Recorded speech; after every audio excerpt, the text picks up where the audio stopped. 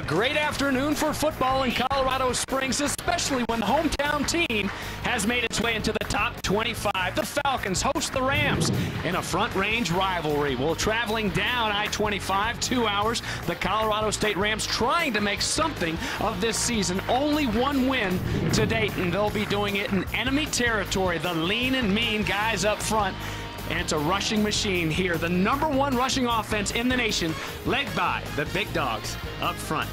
Well, calling them big if you want to. Only one of them weighs over 260 pounds. Here's a guy who weighs about 260. Todd Christensen. I'm James Bates. Glad to have you with us this afternoon. And it might surprise you who leads this Falcon team in rushing. It really does because usually in a triple option situation, you have your left halfback or your quarterback or even the right halfback, which might be the guy. No, in this case, it's the fullback. Only 217 pounds. Jared, Tew, has been tremendous this year. You see those numbers. Included in those numbers is 96 yards per game, including the fact fact that he is yet to lose a single yard this season.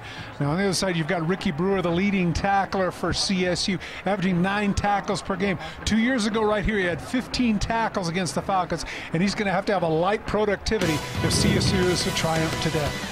College Football on the Mountain is brought to you by Dodge. Live life to the fullest. Dodge. Grab life. By Old Chicago Restaurants. Eat, drink, and be yourself. By Domino's, who wants everyone to try their inspired pizza. Get two medium, two topping pizzas for just $5.99 each. And by Jeep, the most award-winning brand of 4x4s ever. Check out the entire lineup at Jeep.com. Oh, they're rocking, trying to let the Rams know they're in enemy territory. It's the Falcons and the Rams when we come back.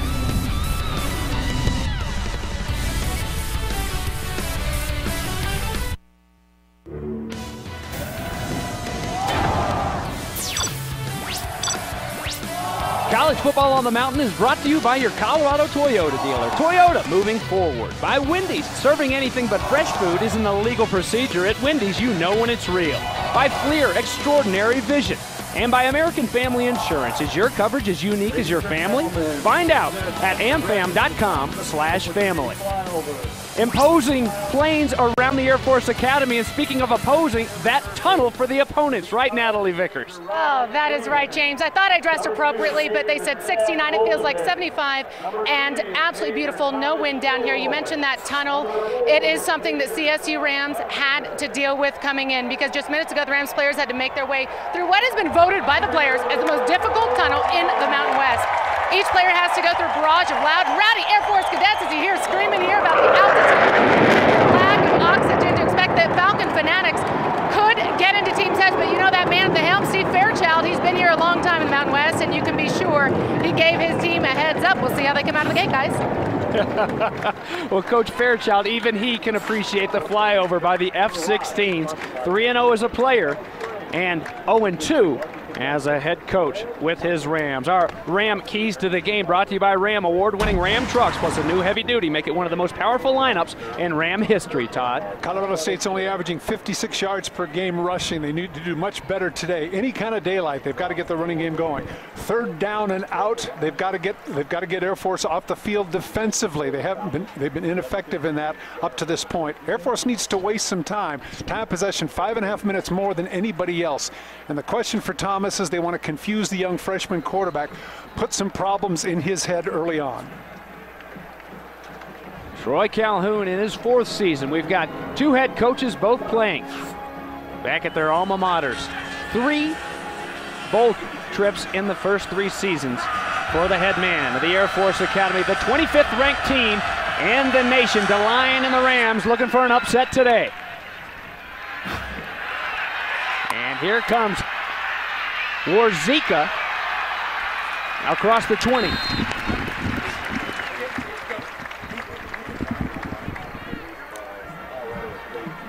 Pretty good coverage on the part of Colorado State. Austin Gray is the one who was able to make the tackle there. you see Tim Jefferson's numbers. Those are throwing numbers, of course. Remember, Jefferson is primarily a running quarterback. 343 yards on the season, and he has seven rushing touchdowns, James. Clay Hendrix, the offensive coordinator, and Trey, Troy Calhoun able to get a little bit more creative with the junior running the show. Option first play, Asher Clark, first down. Uh, starting lineups for the Falcons brought to you by Wendy's. Serving anything but fresh food is an illegal procedure at Wendy's. You know when it's real. 261 pounds only, the average of the guys up front. And Clark and Tew both on track to get a 1,000 yards this season. That has only been done once here in Air Force Falcon football history. Jefferson and the whole crew will check over with the sidelines. First play from scrimmage resulted in a first down. And again, the keeper. And here's another pitch. That one goes to Kyle Halderman.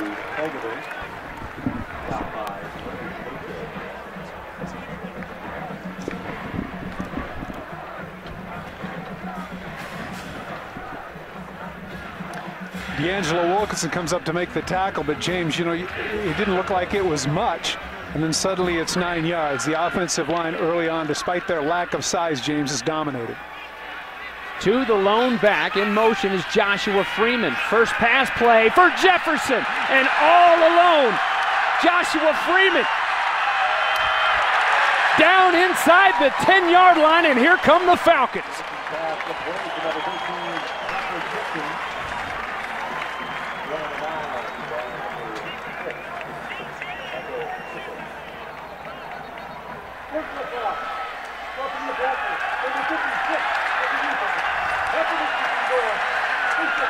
Late flag came down. Well, Ricky Brewer evidently hit the quarterback late, but I'm wondering who was in coverage there because that was just completely a busted play. Great call on the part of the offensive City for Air Force, running the ball so effectively, going for play action, and wide open in the flat. Clark up to the wing spot.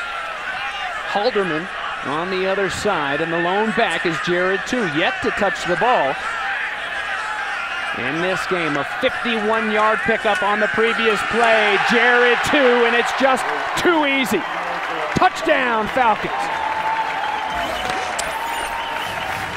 You know, James, it's interesting that you pointed out 260 pounds per man for the offensive line, some 40 pounds less than Colorado State and most of the other teams around the nation. Nevertheless, they were dominant early on here in this particular drive. They created some chasms for those runners.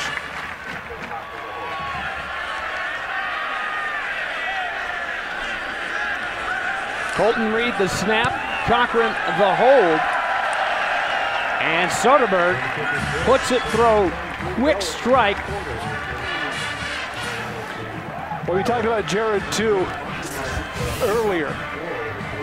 And Tew just is able to knife through. But take a look, take a look at what ends up happening. In motion, nobody goes with him. And when he comes out in motion and nobody's going to go with him, he's just wide open just just wide open is Freeman, the reserve tight end. This is a great job by Warzeka of running everybody off. And of course, Sisson in this case is unable. Great hustle on the part of Sisson to run him down, but the coverage just was not there. And you can see that's not one of those time of possession drives that normally Air Force has. Instead, of a minute and a half to go 77 yards. Very impressive by the Air Force offense here in the initial drive of the game.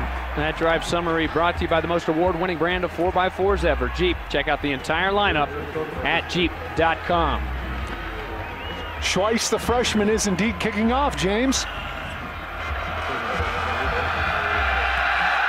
A retired lieutenant colonel Schweiss's father, he takes it to the paint. Here comes John Mosier.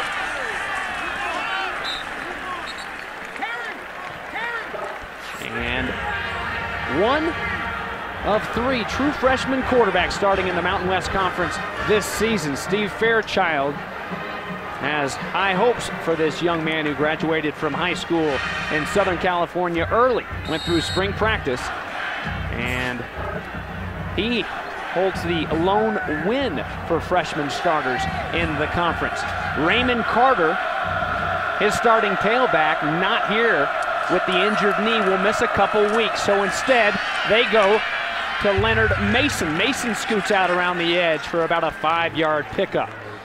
Colorado State's lineups brought to you by your Colorado Toyota dealer. Toyota moving forward. Mark Starr glad to have him back at the strong tackle position. They base a lot of the offense around him. There's Leonard Mason starting and Zach Pauga, one of the best fullbacks around. And there's Big Zach, the former rugby player, buries his head forward for about three yards. So it'll be a third down and two coming up against the defense who doesn't like giving up points or first downs. Payne, Gardner, and Sticky Ricky Ricketts at the defensive line spots. Amac banged up a little bit, but will play. Waiwaiole has really been special, and John Davis, the safety, has been a big play machine for Troy Calhoun and the Falcons this year. That's the fullback, Pauga, lined up at the bottom of your screen. To the air and hooking up a first down. Tyson Liggett on the catch, and so the sticks will move for the Rams. Excellent job by Liggett in setting down in the soft spot of the zone. Not only that, as you see the numbers, he's the leading receiver for the team heading into this game, but a little confidence for Thomas to make an easy throw and get a nice third down conversion. Well, he's holding that left forearm or hand, and already it's a banged up unit. As we mentioned, no Raymond Carter, TJ Borky, the starting receiver, didn't practice all week. Here's a handoff to Mason, a trap play. And able to get a few yards out of it when it looked like he'd be stuffed for a loss. Well, we talked about the difference in the offensive lines, James, but here's what's happening with Colorado State. We're talking about their defensive line. The defensive line for Air Force is also right around 260 pounds. And so they're gonna they're gonna put their they're going to put their splits close together. They're going to try and replicate what Wyoming did two years ago, two, excuse me, two weeks ago, when they ran the ball so effectively there in Laramie. Bailing, zone coverage, Reggie Rembert, and there's the soft edge as Leonard Mason comes pounding. Mason had nearly 100 yards rushing, and it was a first half that the Rams had a lot of success on the ground up in Fort Collins last year against Air Force. Take a look at the point of attack, and you can see the blue shirts are going backwards, and Leonard Mason is a very good north and south runner. He doesn't look as big, but he's about 210, 215. And You can see right there, great job by Starr at the point of an attack, enabling Mason to get to the outside and get yet another first down for the Rams. It's Mosier who replaces Mason next to Thomas in the backfield.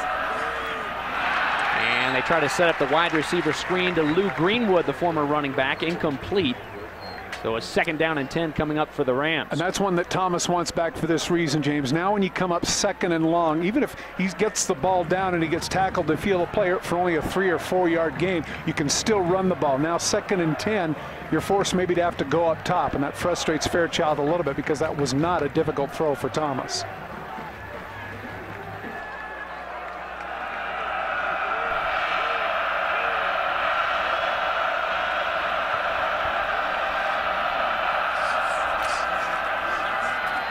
Tried to hook up there with Steele, threw it behind him. Waiwaiole, the linebacker over there to break it up. Pete Thomas needs three yards to pass up the long, tall Texan, Caleb Hanie, who back in 2004 threw for over 1,200 yards. And Justin Holland injured his leg early in that season, and the freshman came out gunslinging, set the all-time freshman record at Colorado State, but one more pass completion and it should belong to Pete Thomas, who's got a lot of ball left to be played here in his first year. The blitz is on, and standing in there strong is Thomas, but underthrows his intended receiver. Jordan Waiwaiole, who was so effective last week against Navy with 15 tackles. He's the one that comes in and puts the hit on Thomas, hence the reason why the ball was short. Look at the top of your screen. Here they come. Waiwaiole, the 6'3", 230 pounder, drops him forces him to throw a little bit short, and now CSU is going to have to punt. Here's our first look at a new long snapper for the Rams. It's Tanner Hedstrom, Scott Albritton, one of the best in college ball, was injured against TCU.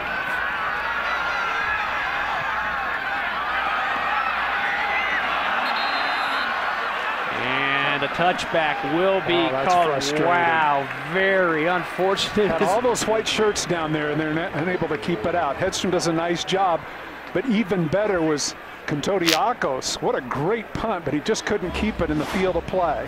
A little bit frustrating here. Look at all the white shirts waiting, but it goes through the hands. Here's Hurd. He's across the goal line. Nope, out to the 20.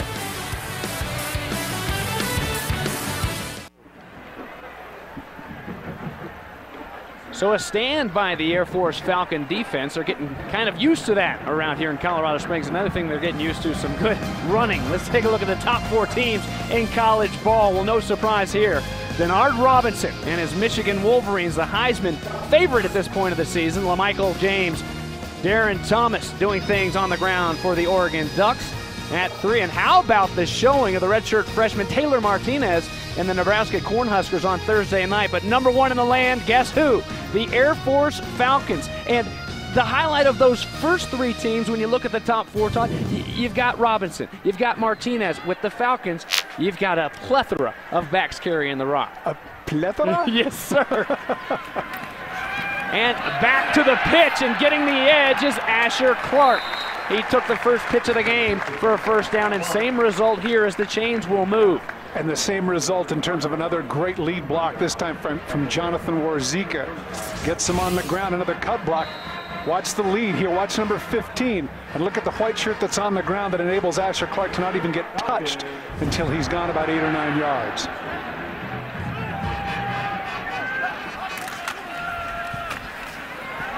And Asher Clark again, this time between the tackles and up to midfield. Clark and the Falcons. Here's your Toyota starting lineups for the Colorado State Rams. And Guy Miller, Ty Whittier, they need a big game from the guys inside. Brewer, Williams, and Sisson, pretty good linebacking crew, and the safeties. Ivory Hurd, a big part of this game against the rushing attack. A step and a catch. Zach Kauth had a couple steps on Dominique Vincent and another big hookup. It was a 51-yard reception on the first drive, and this time they go to Kauth at the bottom. Take a look at what happens right here with the play action, and all three receivers going downfield are going to be wide open. He had his choice. Look at that. He had three blue shirts wide open as a result of the play action. And back to the ground. Great blocking up front before Ivory Hurd comes over there and goes helmet to helmet with Asher Clark. And we're in the infrared zone. Brought to you by FLIR Extraordinary Vision.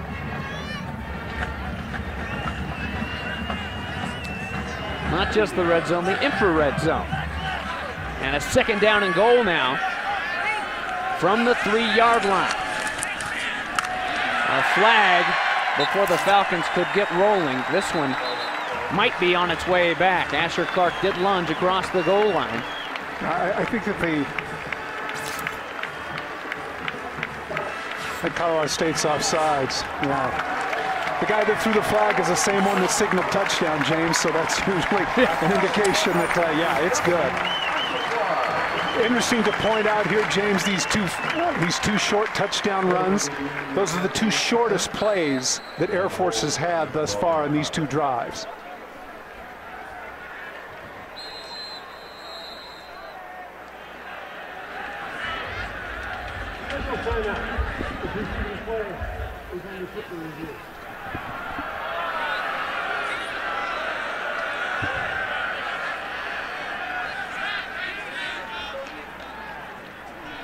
Terry Layden, our head referee, replay official Thomas Robinson up in the booth this afternoon. A look at Steve Fairchild. We're trying to decide as to whether or not this was a touchdown. Take a look and decide for yourselves. You know what? Simultaneously, he goes across with the knee. So I'm thinking that this isn't, isn't something that they're going to overrule, but instead you'll see the knee go down. There it is in the field of play, but he's also across, you can see right here, the ball is already across the goal line, so I'm assuming that's six for number 17. Ruled a touchdown on the field.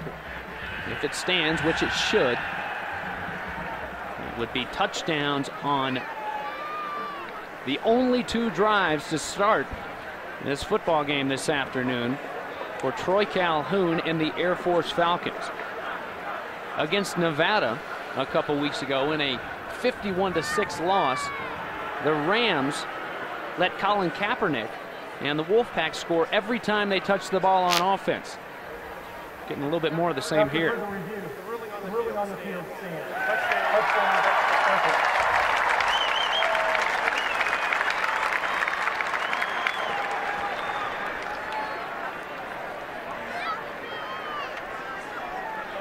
James already 154 yards in total offense for Air Force in those two long drives. And this is a Colorado State defense that really held its own against one of the TCU, better right. offensive attacks in the land last week against TCU, only giving up two field goals at halftime.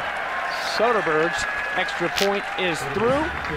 So the Falcons putting it in the paint on the ground, but getting down there through the air. Jefferson, does that count?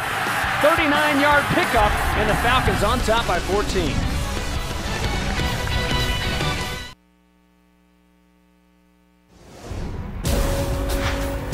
And we're back next Saturday, a big-time matchup in Cowtown as the BYU Cougars try to stop the Horned Frogs of TCU down in Texas. It's at 3.30 Eastern, 1.30 Mountain on Versus. We know the Mountain West. First things first for BYU. They've got San Diego State this afternoon on the mountain. That's where Troy Calhoun and the Falcons will go next week as they'll take on Brady Hoke and the surprise team at this point in the Mountain West Conference, the gutty little Aztecs, who are favored in Provo this afternoon. Twice again. And here comes Tyson Liggett.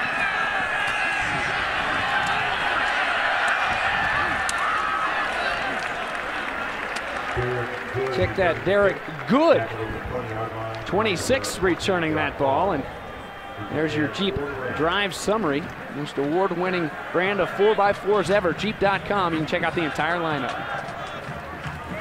Well, once again, you have a long drive in a short period of time. 80 plays at a minute nine. Of course, it's a long throw to Kauth that shortened the drive, and you can see the total yards right there.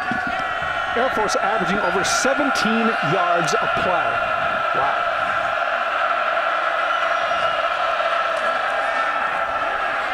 Thomas with time, hits his fullback, Poga. And a couple pops. To number 36. The bowling ball down there making a couple guys in blue jerseys. Andre Morris with the same number.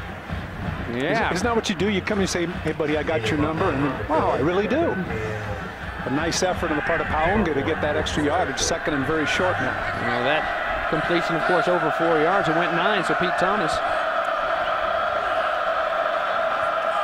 more importantly, we'd like to try to answer those first two Air Force scores. We go to the ground, and Pete Thomas has passed Caleb Hanie on the carry for the Rams. The all-time. Down by number uh, uh, uh, uh, James, obviously they've been hit with a thunderbolt, no pun intended, where the lightning bolts are concerned. But with 8:17 remaining in the first quarter, clock running down 14 nothing.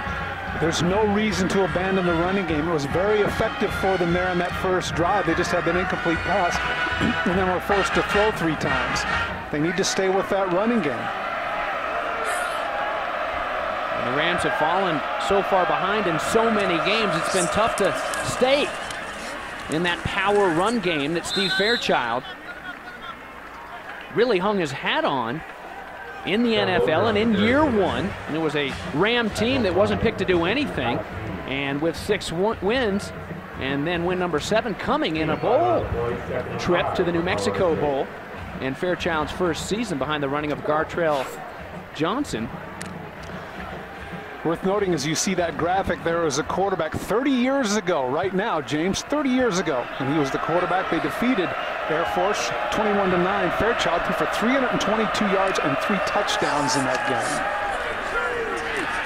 Little screen to the fullback, a slip screen, and Paunga takes it up near the 50-yard line. They needed just over the 50 into Falcon territory for a first. This one will be close. Zach Payne, the defensive lineman, retreating, and it will be enough for a a Ram first down. Good call on the part of the offensive staff. Easy throw, conservative off to the side. Get that first down across midfield. And there's the graphic that you pointed out, James, with regards to the freshman quarterback record for yards. Congratulations, Pete Thomas. New first and 10 line up there for you. Brought to you by Remax. A sign you want, the agent you need. Lead play, right up the gut, and powering hard is Leonard Mason. And again, a first down. They keep going to that right side, James. They must have something going there. As you can see right here, take a look at the attack and look at the hole. He's able to run through, and of course, people are occupied. Sometimes you see those blue shirts and you say, well, why aren't they making the play? Well, they're occupied with the offensive lineman, can't get their arms out, and as a result, Mason able to run through them for the first down. There's the dive play, and the ball on the ground. Oh, that's a well, I tell you, that is heads up on the part of Richburg, the center, because that would have been really costly. Very nice play in the middle of the middle of the line for Colorado State, and the ball comes out. They can ill afford a turnover at this point. Richburg, a redshirt freshman, the center for Steve Fairchild, and Gary Patterson admitted to us, getting ready for the Rams last week, that he might have missed one on letting Richburg get out of Amarillo, Texas, right near at Bushland High School, and bam, they're in a hurry as Brian Lindsey. the defensive backs in this Falcon secondary will blitz more than any team in the nation, and the run blitz, blitz there paying off for the Falcons. Well, he, he just comes, he, he's going to come over here off the side, just completely untouched. He's just not accounted for. Able to drop him for a loss, and now instead of third and one, they, they're coming up now third and three.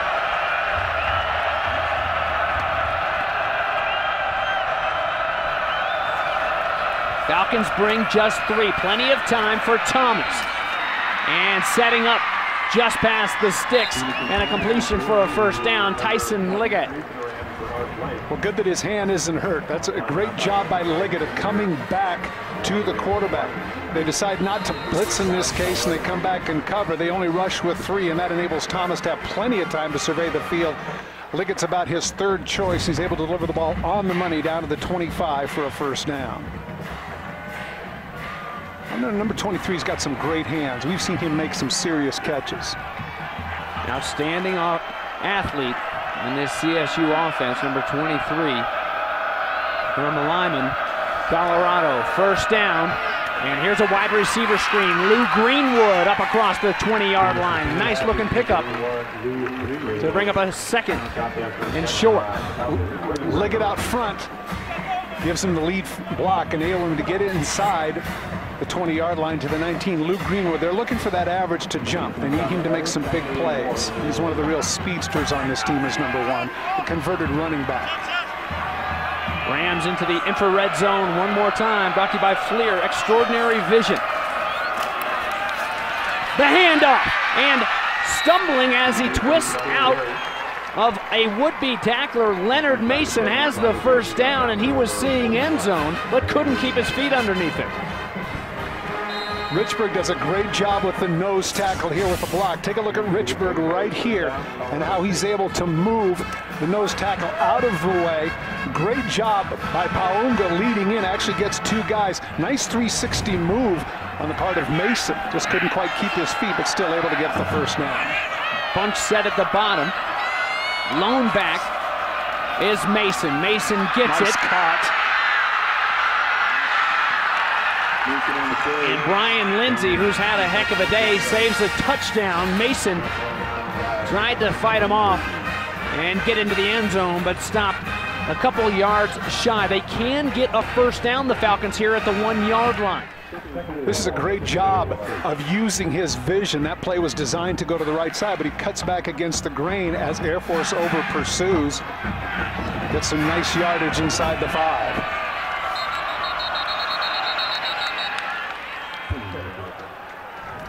And that's unfortunate. You know what, James? It, it, feels as if when you're inside the five or inside the 10, if you get a five yard penalty, it's almost like it's double the yardage, you know, when you go backwards. It, it's just so frustrating because you're so close and you've done so many good things up to this point. Now, second and nine instead of second and four, it's kind of a situation where now you got to, you know, you're forced to throw, and they've been running the ball so effectively. Did you see that 66 to 64? Wouldn't you, ever think CSU would outrush Air Force at any point in this game? Not this year. So here's your second and nine. And Mason takes it one more time. And that was, as we saw the shot of Steve Fairchild, Todd, we talked to him this week on our conference call, inconsistency, inconsistency. And that's exactly what you got. You go down there and you drive, you're trying to answer. And the inconsistencies have been driving this bunch crazy. A lot of young guys one thing to think about here, James, is it could be four down territory, so they could still run the ball. And they do just that. Swallowed up about two yards shy of the first down is Leonard Mason. Well, James, I'm thinking at 14 to nothing, and the defense has given no indication that they're able to slow these people down. And sure enough, they are going to go for it here on fourth down. I give Fairchild credit.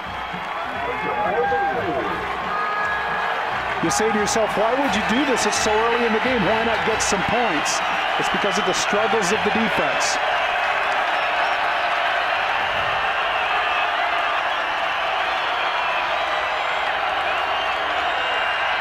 Thomas, it's batted away. Just as they've done all year long, this Air Force Falcon defense stiffens in the red zone.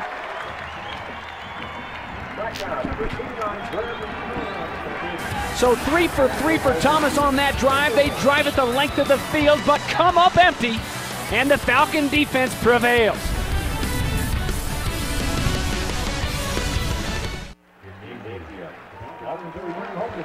And back here in Colorado Springs, we're the number 25 team in the nation, the Air Force Falcons, on top 14 to nothing. And looked like the Rams were going to chip into that 14-0 lead, but standing that Air Force defense. Our out-of-town scoreboard brought to you by Remax, the sign you want, the agent you need.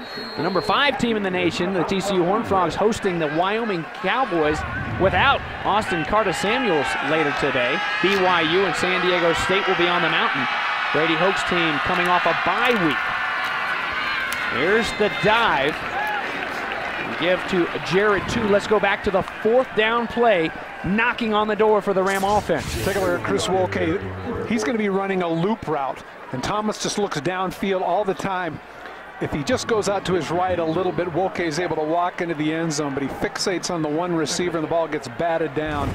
That was a little bit frustrating. And with experience, he'll be able to see more of the field but I'm sure that that's one he'd like back.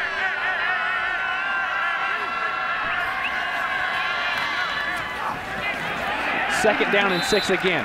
Back-to-back gives to the fullback Tew. Doesn't look like much, but it only result, results in two carries and a first down when you had your back against the wall. And frustrating if you got to be Colorado State because certainly part of the thinking process of Steve Fairchild was, okay, if we don't get it, they've got to go a long field. Well, Air Force is certainly capable of that with that running game, and as you mentioned, their fullback Jared Tew. Pitch to Asher Clark. Coaches tell us that Tim Jefferson may be the best that's ever come through here at running the option. And that, well, that's saying a lot. That is saying a heck of a lot. Jefferson, a junior, started as a freshman, and we mentioned that they've gotten a little bit more creative as he's gotten some starts underneath his belt. And here's a handoff going the wrong way for the Falcons, but he ran the option back in Atlanta at Woodward Academy in high school. Only threw it about two times a game. And his two throws in this game have resulted in big time numbers. And it's 14 to nothing. Most important number of all for the Cadets and the Air Force Falcons. That's it. One quarter in the books. The Falcons on top, 14 to nothing.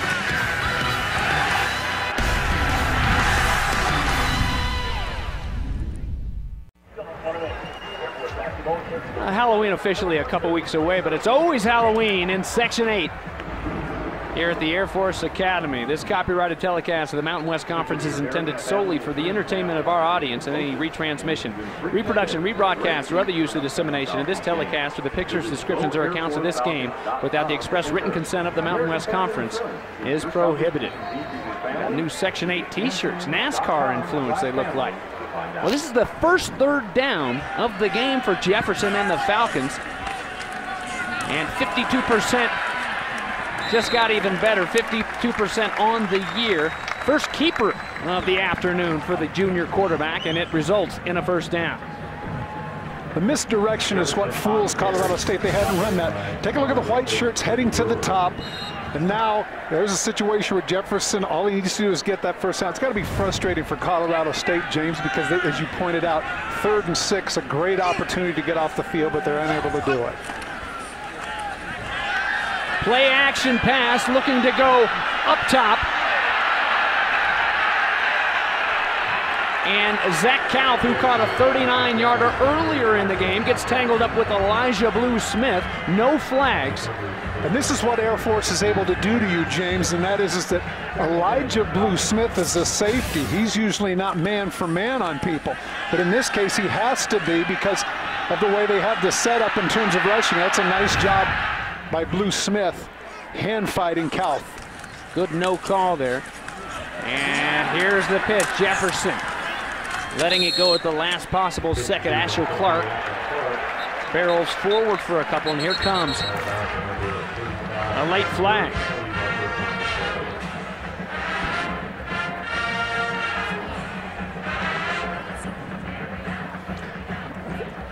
Indicated by two, it might be a chop block. Out for a block on the. Third down.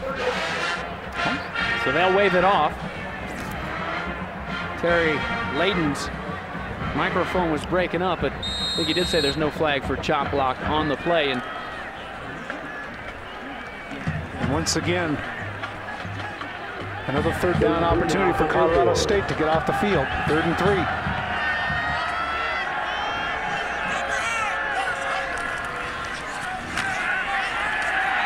And they do just that. Great job by Guy Miller and staying with the fullback and not getting fooled. And he looks over at the official and says, no, no, no, no, no, I'm not, no, no, I'm not doing anything wrong. Because for a brief minute there, you know, they thought there'd be the conversation and get the, get the flag. Instead, Miller penetrates. Great job. Larry Kerr, defensive coordinator, has to be pleased with that. As the initial punt of the game by Bartholomew for Air Force will come to fruition. Guy Miller, former big wrestler in Scott City, Kansas. Liggett awaits the Bartholomew punt. Wow. And we'll have to backtrack a little bit. Over his head. And from his own eight, tripped up. Great coverage by this Air Force special teams. A 53-yard punt and great coverage to go along with the Bartholomew punt. So again, long field to go for the Rams.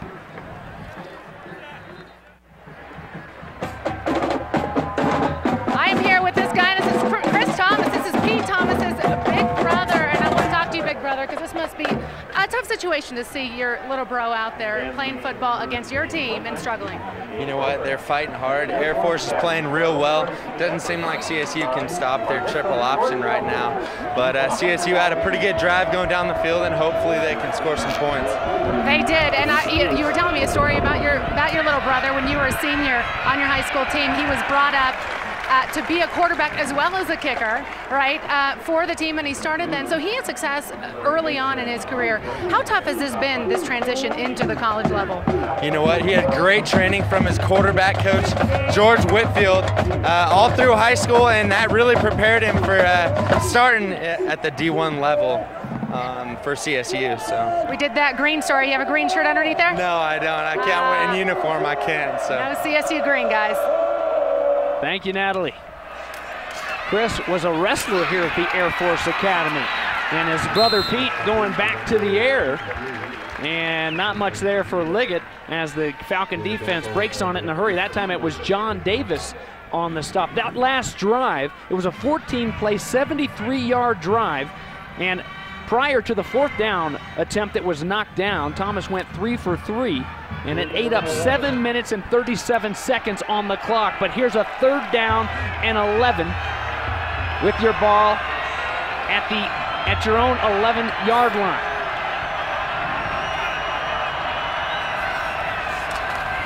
Falcons bring just three. Tried to throw it in there and it's picked off. Reggie Rembert, interception and inside the five yard line. Reggie Rembert does a great job of baiting him into this throw. It appears that he's open, but Rembert is a sharp guy able to come off of his coverage and make the play in the middle of the field.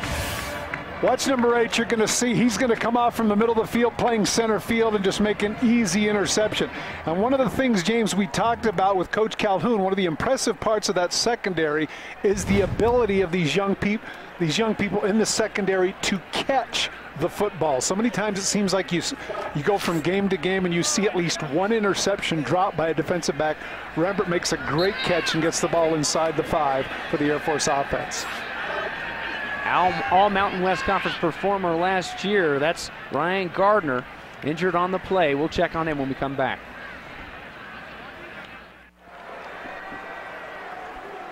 Well, no longer a dusting on the Rocky Mountains. There's snow up in Nemar Hills, the United States Air Force Academy.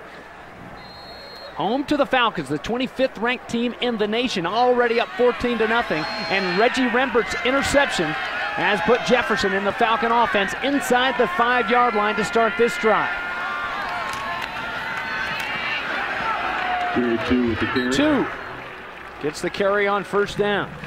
Josh Hall, the defensive back, does a great job of funneling the receiver inside, enabling Rembert to make. He knows that he's got help inside. There's a bracket coverage. Greenwood fades a little bit on the route, and that's the inexperience of somebody who hasn't played the wide receiver position. But Rembert does a great job of baiting the quarterback into throwing that ball in the, in the middle of the field, and as a result, getting a turnover. Again, the dive, and again, not much there for Tew. Ball popped out. The senior put it on the turf, and the Rams say they have it.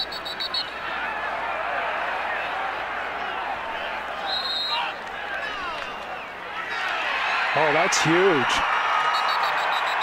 Mychal Sisson, look at that. Helmet is off and he refuses to give the ball up. I tell you what, you got to like the fight of number six right there. A guy who's got two bad knees, a bad shoulder, comes into this game with all sorts of health problems. There he comes up with a big turnover. I tell you what, up to this point, James, I know it's we, we know the score and that would have solved it. But watch, I tell, I tell you what, a great job by uh, Kowalczyk getting across and Sisson is the one who strips him of the ball. Now, one of the things, I'm sure that they're probably going to review this, but I think Kowalik has him on top of somebody, and that's the reason why he wasn't down. Looked like he rolled over the body of right. Ivory Hurd. Correct. And that's what they're going to take a look at.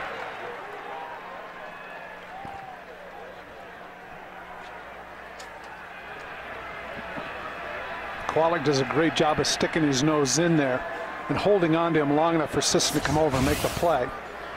Watch for yourself. Here it is right here. Kowalik comes in and makes the play. Watch back here. Here's Sisson who's going to come off of the play and strips him. Now look, he's on top of Kowalik, so he's not down. He's not down. That is going to be a turnover for Colorado State. And again, I come back to Sisson, and, and, what a warrior he is. We're talking about a linebacker, folks. Is 5'11", 209 pounds not a bruiser by any stretch of the imagination, but continues to make big play after big play for the Rams. As we send it up to Thomas Robinson, the replay official will give a different angle here. And bottom line is Jared Tew never touches the turf. Correct. That's it. You're absolutely right, James. And, and, you can see, and, and, and, see, you know what? You and I talk about this all the time. You, the body language of the player who had the ball tells you a lot. You saw that Tew looked back and wanted to know where the ball is, as opposed to sometimes, you know, you'll get the guy that'll stand up and just point at the ground and say, I was down, I was down.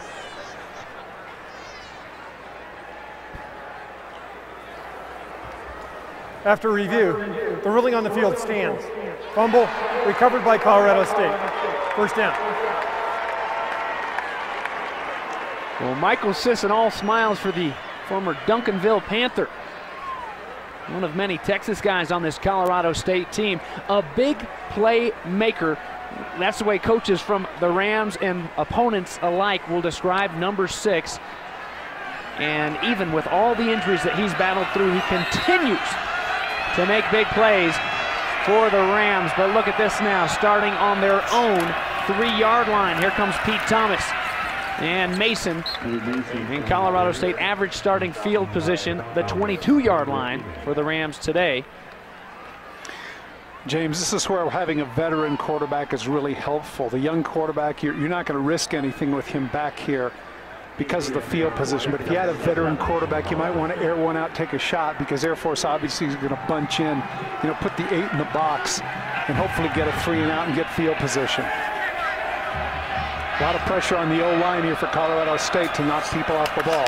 Here's play action pass from his own end zone. Thomas again goes to the middle, and this time Liggett had his hands on it, but it was broken up by Reggie Rembert. And look, just so just so you know, Reggie Rembert, for, for those of you that are out there want to understand something, this is five foot seven and 185 pounds. Liggett comes back, he's got the catch, but Rem Rembert just has great closing quickness and able to separate him from the ball. I, I mentioned the size factor because I think if there's some young people out there, don't worry about the size. Third down and seven. The blitz off the edge, a nice play call. They set up the tight end screen. Pites has a first down, and it's a huge one for the Ram offense. That's a great call because they did come with some extra rushers and Pites the tight end. It's a play they have not used. In fact, James, you and I have had a couple of Colorado State games. I think I've only seen that once in about three games, but Pites is able to get behind. Wow, that's a nice block by Starr. He just creams Anthony right out of the way. Huge first down for the Rams. Pauga and Mason, the I-backs behind Thomas. First down and 10, Colorado State. Here's another lead play, bending it back, and the ball on the ground. Another turnover, and it's picked up by, guess who? Reggie Rembert had an interception on the last drive, and it's Johnny on the spot with the fumble recovery here. And what's interesting about this, James, is it appears that as soon as he's going to be going to have the collision, Mason has both hands over the ball. Take a look as he cuts through. Now watch, he comes out. Now, now watch what he does with the right hand. He, he covers it up, but still, still as a result, it's Jonathan Davis who's able to put a helmet on the football and get the ball out despite the fact that he has two hands on the ball. I don't know why there should be a review. That was clearly a fumble and frustrating if you're Mason because you got that big hole and you had a first down and things going for the Rams, but that's definitely going to be a turnover. I, I know that. Colorado State has challenged the ruling on the previous play of a fumble and recovery by Air Force. Well, I know that Steve Fairchild is getting the advice from upstairs, and at the 14 to nothing here, wanted, we don't want to give the ball up at the 33-yard line, but that's definitely a fumble. His elbow did not hit the ground first.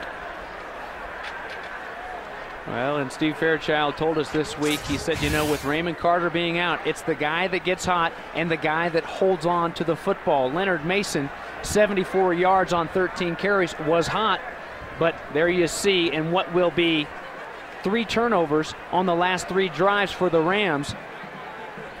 You can't fumble the football and stay on the field for Steve Fairchild, for any coach for that matter. And once again, you see Mason reaching for the football. The ruling on the field is confirmed. Colorado State will be charged a timeout and has lost their challenge opportunity.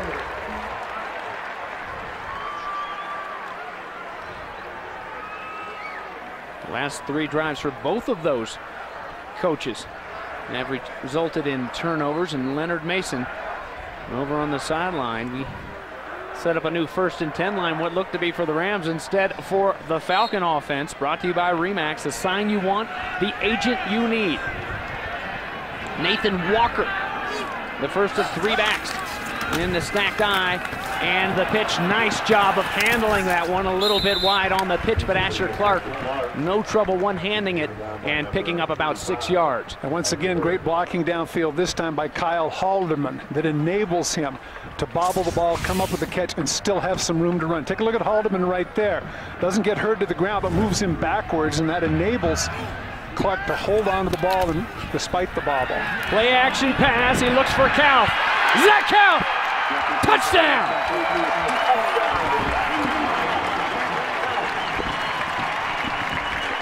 Well, James, we've been talking about why teams haven't picked on Shaq Bell, the true freshman corner. That's exactly what Air Force is able to do here. Kauth, the big body, about six foot four, 205, 210 pounds, just beats up Bell at the line of scrimmage on a straight go route.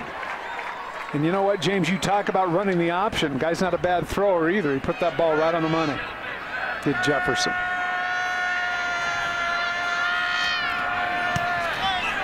Extra point is good.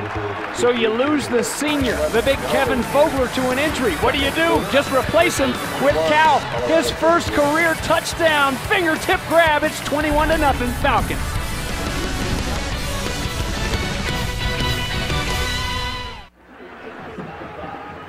Everybody's well aware of Tim Jefferson's running skills coming into this game. We talked about his seven touchdowns, but today, throwing the ball, three for four, an astonishing 117 yards. I mean, think about that, folks, for just a second. That's nearly 30 yards per attempt. That's just unbelievable. That drive summary brought to you by the most award-winning brand of 4x4s ever, Jeep. Check out their entire lineup at jeep.com. Jefferson's third 100-yard passing game this season. And here comes Derek Good from the one. Nice hole for Good. Derek Good across the 50-yard line. And finally dropped, but not until he's inside the 30 by Mikael Hunter. The Rams trying to answer back in business. Wedge does a great job, but take a look at the coverage here. Look at all the blue shirts that are in one spot. You're supposed to stay in your lanes, but instead they start to bunch. That enables him to cut to the outside, and there are no blue shirts on the outside. Now, I got to tell you this, young people, just keep going. Don't try and cut back, just keep going.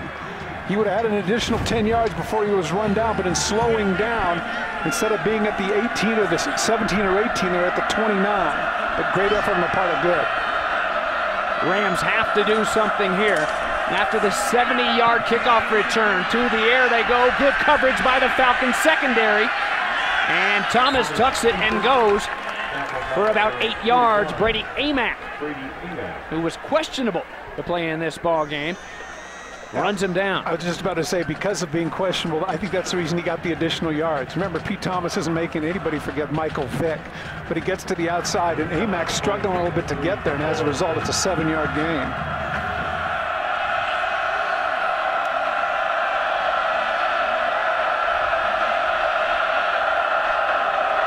Liggett in motion. Hone to the offset back. And the handoff to Nwoke, Chris Nwoke. So just as promised, Fairchild said you got to be hot and you got to hold on to the football. And he puts in Nwoke. We've seen Mosier and Mason in the backfield already playing for the injured Raymond Carter, who had an ACL tear his freshman year at UCLA, had a repair, just sprained it this time. Here's the unbalanced line and Nwoke going behind the big boys up front and it will be another first down into the infrared zone brought to you by FLIR Extraordinary Vision. Good job by the Rams to do that quick count. Air Force wasn't quite ready and the big bodies were able to get off quickly and Nwoke was able to get that first down. James, I got to tell you though, I understand that he dropped the ball, but the guy, the guy's rushed for 74 yards, nearly six yards a carry. I'm talking about Leonard Mason now. Why not give him another opportunity? But hey, that's not my call. Both teams now over 100 and right at 102 yards rushing. Here's John Mosher. And the stretch play results in a pickup of four. Rick Ricketts, the defensive end in this 3-4 scheme. Over there to stop. A part of the frustration, I would think that if you're Colorado State, you look, as you pointed out, you know, rushing for over 100 yards here with a little less than seven minutes left in the first half. I'm sure that Steve Fairchild would have taken that, but the turnovers and everything else and the problems that have had defensively, that's the reason they're down three touchdowns. A shutout by TCU last week in Gary Patterson's first road shutout. They need some points in a big way. How about a little razzle dazzle on the reverse to Lou Greenwood? Touchdown, Rammies! And it's Pete Thomas is the guy that makes the block for him, James. Sometimes we make too big of a fuss over quarterbacks blocking, but Thomas actually brought somebody down to the ground. This is really not altogether that much. It, it, doesn't fool people, but Pete Thomas, all six foot five, 250 pounds of him. Watch number four here. It's going to come back here, but watch number four drop people to the ground. Right there, you're going to see it. Bam! He's able to get the edge, and that enables Greenwood to get in for the touchdown. Great block by number four. And extra point is good. Another good snap, snap for Tanner Hedstrom. And the former running back Luke Greenwood. hey, hey, coach, I can do lead blocks now. I'll trade with you're giving, Hey, you're giving. I know he's a tough guy. You're giving him way too much credit. He got cut. He got cut, and both of them went to the ground. Pete Thomas there. Yeah, but you, but you know how, how many times, how many times though have you seen this happen? There, it was kind of like an accident, but he'll take it. Anthony Wright is going to take some grief in the film room, I bet you, when he says, "Oh, you got blocked by a quarterback." Well, and you know what's what's funny is usually a, a, a, corner can step up, take a quarterback on sure. if he doesn't get cut and go make a play. Anthony Wright's just 5'10". Pete Thomas is 6'5", 220. Yeah, exactly. So Wright had no choice but to take him low. He tried to take him low and then come off and make the play. But so many times people make a big fuss on the air of a quarterback making a block, but that's the real deal here as you get a chance to see the drive summary presented by Jeep. And Greenwood with that 13-yard touchdown run. And hopefully for number one here, this is the first of many for CSU Ram fans because they've talked an awful lot about his speed and the things that he can do if he can get his hands on the ball. He certainly did that on that reverse.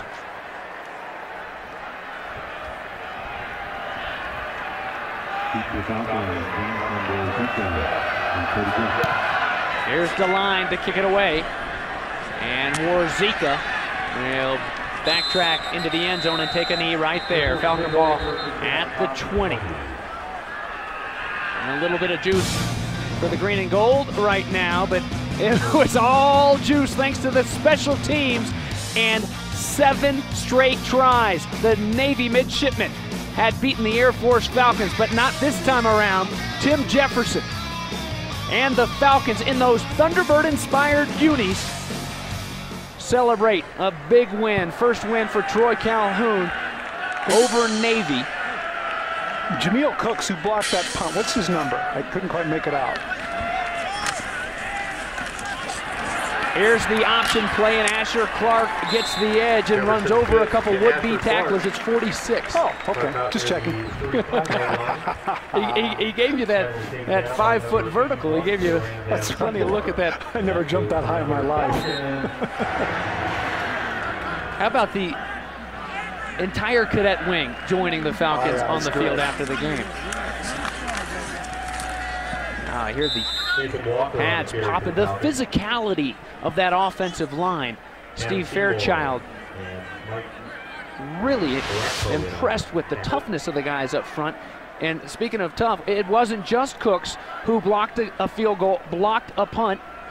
It was Waiwaiole and Tim Jefferson, all Mountain West Conference performers all three Falcons last weekend. Well, you better believe the way Reggie Rembert's playing on defense in this first half, and Tim Jefferson as well. We may see some more boys in blue there with the weekly conference honors. One of the adjustments that Colorado State needs to make, James, is they've been really, really fullback conscious. Tew only has 14 yards thus far, but they've been able to get to the outside, especially with Asher Clark. And here comes Asher high stepping past a couple would-be tacklers taking it into Ram territory. And James, with that carry, that pushes him very that puts him very close to 100 yards. Number 17 is having a tremendous game for himself. That's 96 So Clark will get a breather over there with Troy Calhoun, four yards shy of the century mark. It's Nathan Walker, the fullback. Warzeka goes in motion. There's Cody Getz replacing Asher Clark, a short pickup Guy as we go under five. Guy Miller does a nice job of getting penetration there. We, in fact, we've called his name a couple of times, James, number 66. Skelton, of course, number 43. Outside backer who gets his share of playing time as well. Does a nice job going sideline to sideline. Second down and long. Here's the pitch this time to Getz. Cuts back inside. Well, my understanding is what Cody wants. No, oh, I'm sorry. I, I, I wanted to resist that, but I couldn't just for that. And now third and short. Great opportunity for him to get some playing time and give Asher Clark a rest, who's now back in the game here. Third and about two football lengths.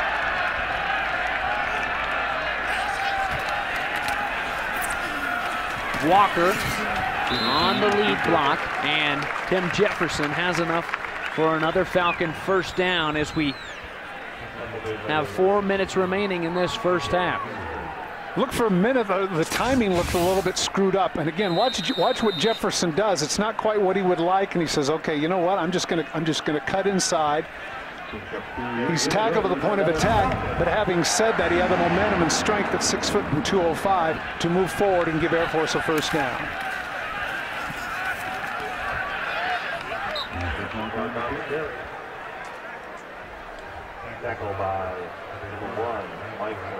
The strength of Asher Clark is something that Troy Calhoun has harped on throughout this season. He told us in Vegas at the preseason media days that he has really gained a lot of strength in his legs and has has become a more powerful runner and also a faster runner. And here he'll try to get to the edge. Will do just that with the pitch. Run down by Orakpo, the backup linebacker, Mike Orakpo, the freshman out of Houston, Texas. Well, the record for Air Force when they have a 100-yard rusher, which now Asher Clark is, is 19 and three.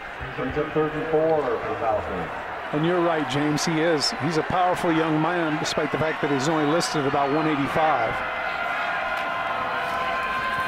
Nice little breather for Jared, too. Third down, they needed four, and they got about eight. This is a Falcon offense that rushed for 351 yards in their lone loss on the season in Norman, Oklahoma. The most yards ever given up on the ground by a Bob Stoops coached Oklahoma Sooner team. Lost by three, four and one coming into this ball game. The 25th ranked team in the nation. Jefferson and the Falcons trying to move to five and one. An outstanding performance here in the first half so far. Ezra Thompson gives him a pretty good lick there at the end, but again, he had broken through a couple of tackles before Thompson was able to drop him. Again, Jefferson's just like an additional running back. He's hardly, hardly fragile. Back in the FLIR infrared zone, brought to you by FLIR Extraordinary Vision. It's Getz and Walker and the eye behind Jefferson. Tim will keep and stops oh. shy of the first down sticks. Boy, if you're Getz right there, you said, oh, come on, come on, pitch it. He had a lot of grass in front of him, but Jefferson didn't want to take any chances. Well, I guess it isn't true then, Todd. Cody doesn't get what he what wants. Cody wants, he doesn't necessarily get, yeah. And Colorado State's going to call a timeout here. Timeout, Colorado State. Their second, the second timeout. Now this is this is a good decision on the part of the coaching staff for Colorado State because going down three touchdowns heading into half, they- they've got to regroup here a little bit on this third down play and hopefully force a kick. And Steve Fairchild, certainly the defense has played a little bit better in the second quarter, James, but still there's got to be some frustration over the fact they've given up 287 yards total offense here in the first half to the Falcons. Todd, when Troy Calhoun came to town over three years ago, his first hire, Matt McGettigan, the strength and conditioning coach. That's where they get a lot of work done, and he will tell you time and time again that that change in the strength program has been the difference in his guys. They have gone bowling at the end of each of Calhoun's first three seasons.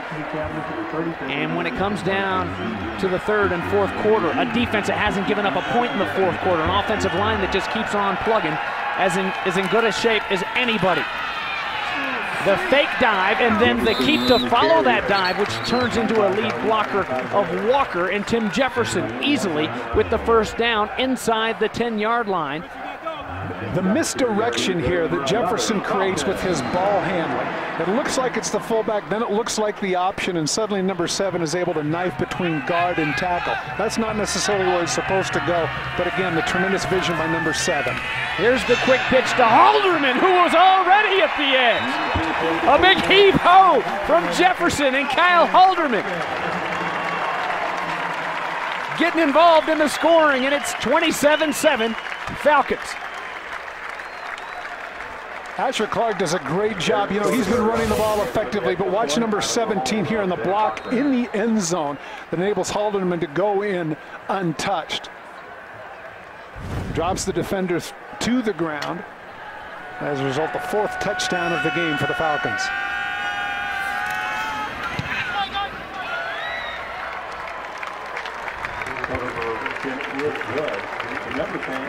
28 to 7 our score of 14 play drive that goes 80 yards as we take another look at our Remax out of town scores.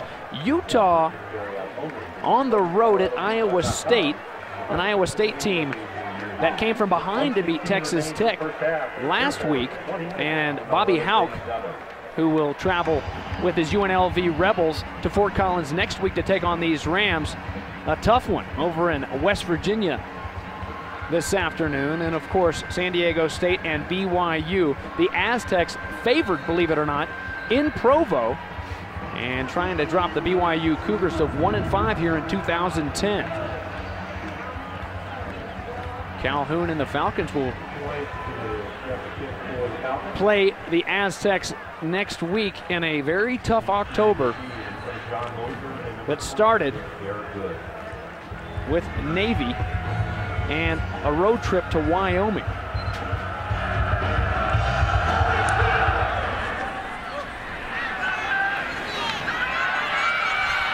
So again, here comes Derek Good. He had the 70-yard return last time he touched the ball on a kickoff return. That one goes for 29. Coming up on Ram Halftime Live, we'll take it back to the studio where you can join Marius Payton, Ted Sundquist, and Kelly Stouffer as they break down the first half and take a look around the rest of the Mountain West Conference. Now here's a situation, James, where certainly they wish they had that challenge back because now they're going to go into their two-minute offense, but they're missing a timeout because of that challenge earlier in the half. Rayman rush thrown too high to Liggett and almost another interception in and out of the hands of Reggie Rembert. This one might have been a little bit easier on the tip drill than his first pick of the day. Second and 10.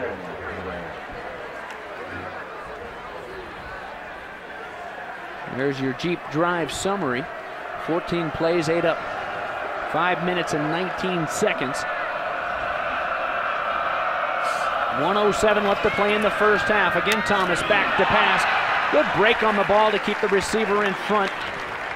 And as the pass is caught by Matt Yem, Reggie Rembert, speaking of San Diego State, Todd, Reggie Rembert was the difference in that game. He had an interception return for a touchdown, a fumble recovery, a sack last year in the win over San Diego State. And here's an extra effort by Nwoke. Chris Nwoke will move the chains. as we go under 40 seconds, we sit right at 40 as they reset those chains.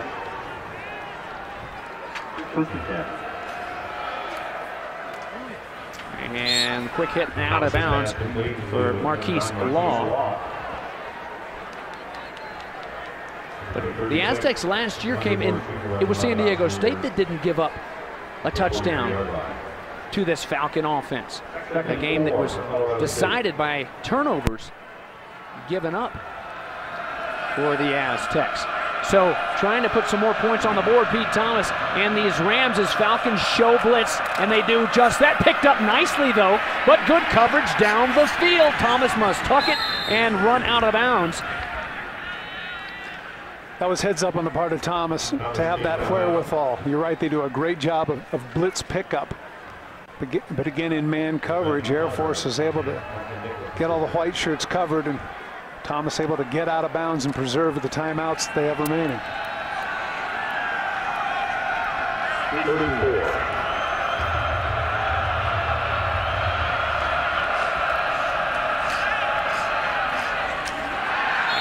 Pressure forces Thomas to throw it at the feet of Chris Nwoke, so it will be a fourth down and four for the Rams. 22 seconds remaining here in the first half. Interesting on the sideline, James, they debated it for just a little bit about the possibility of going for it. And Steve Fairchild decided otherwise. And I'm guessing that Air Force, with the ball near midfield here, will be in a safe situation.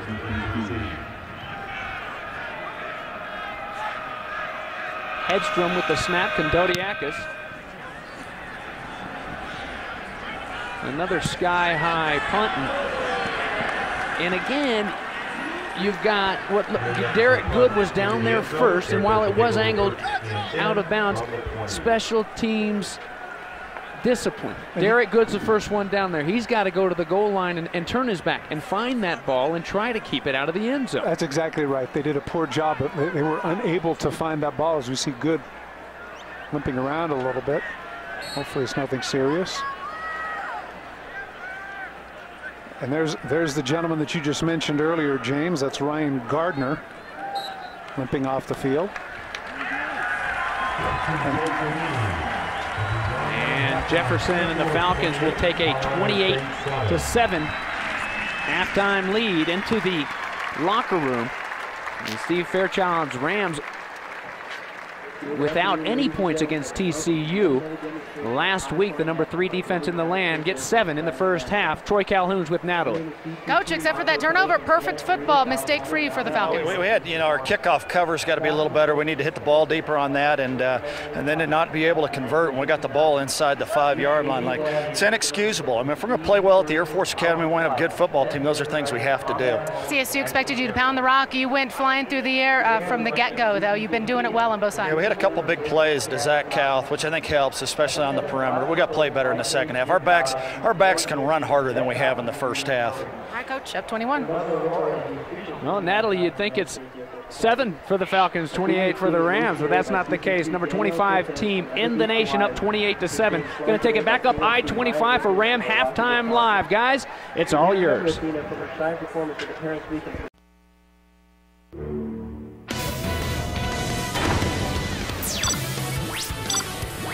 College Football on the Mountain is brought to you by Remax. The sign you want, the agent you need. By Stihl, To find the full line of dependable Stihl outdoor power equipment, see your local servicing Stihl dealer or visit stihldealers.com. By Lockheed Martin. We never forget who we're working for. And by Brakes Plus. A whole lot more. The Aspen's starting to turn, and well, the tide isn't turning when you look at the Air Force Falcons. They just keep on churning as we welcome you back. Number 25 in the nation and up 28 to 7. Todd Christensen, James Bates, and how about the Rams, though? If you would have told them this week heading into this ball game that they would have over 100 yards rushing and winning the time of possession battle at halftime, they'd be pretty happy. Yeah, they would. Of course, the problem is, is that they turned the ball over, and of course, three of those drives that Air Force had for scores all together added up to about six minutes, you know, because they were so dominant early on. So Colorado State has some work to do here in the second half. Well, let's take a look back at our Ram keys to the game.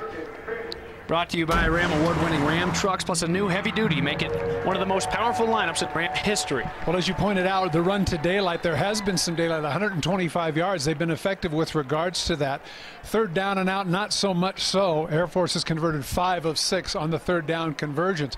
Just the opposite in terms of the wasting time, as you pointed out. Colorado State had nearly five more minutes in time of possession, but it hasn't helped. And of course, Thomas has struggled here, nine for 17 with an interception and a mere 56 yards. Let's get it down to Natalie, who caught up with Steve Fairchild on his way out of the locker room. I did, but prior to that, James, I'm going to remind you about Ryan Gardner, the D lineman that you saw limping off going into the half. I spoke to some of the training staff, and he's still being worked at, worked on at this time. They say it's a sprain of some sort, but they're being pretty vague about that. I spoke with Steve Fairchild. First question about that. Uh, uh, about that um, uh, first quarter drive, and he went forward on the fourth down. He said, "Bad call on my part." Looking back on it, he was not happy with himself. Expect more trickery, coach? Absolutely. He said, "If I don't, Natalie, remind me because I need to bring some in to get some points." And he said uh, about adjustments to look out for coming the second half. He said, "My quarterback is clued in now." That cover two on third down, he, he knows to look out for it now.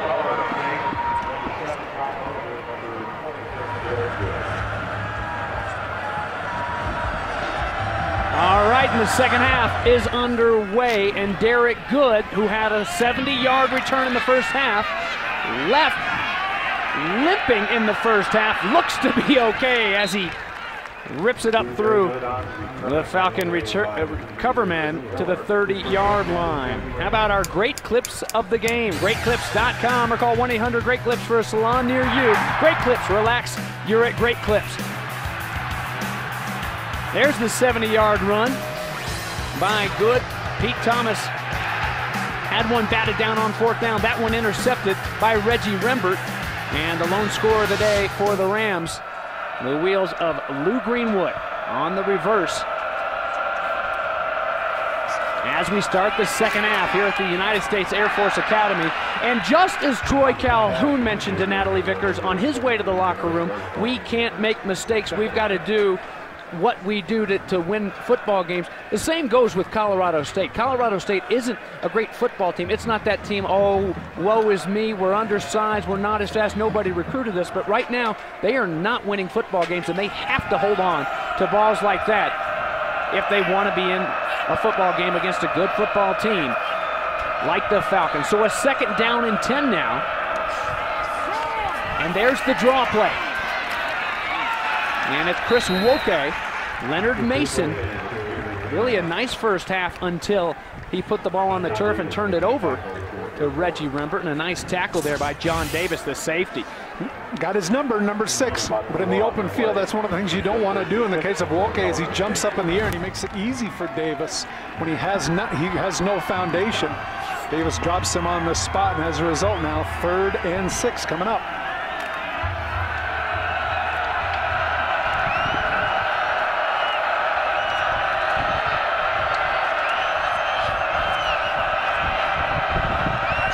Showing blitz, but backing out. The screen set up, and how about the play? Anthony Wright from his corner position read it all the way and shuts down what would have been a big play for the Rams. That was the play that was so effective there in the first half.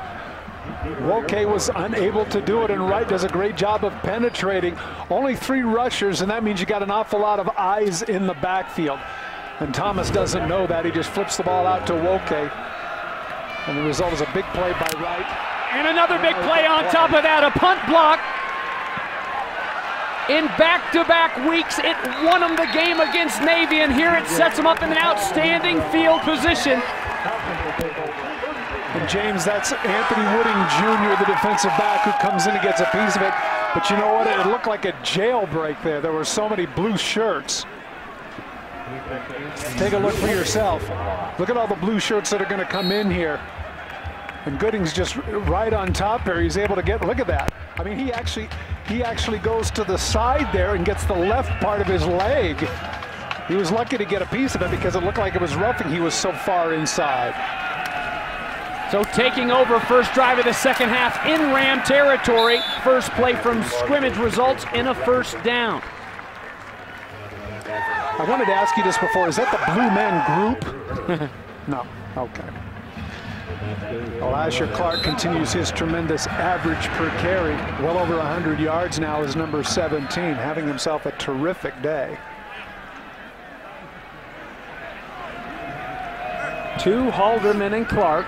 The back stack behind Jefferson. The give is to Jared Tew. We're a short gain.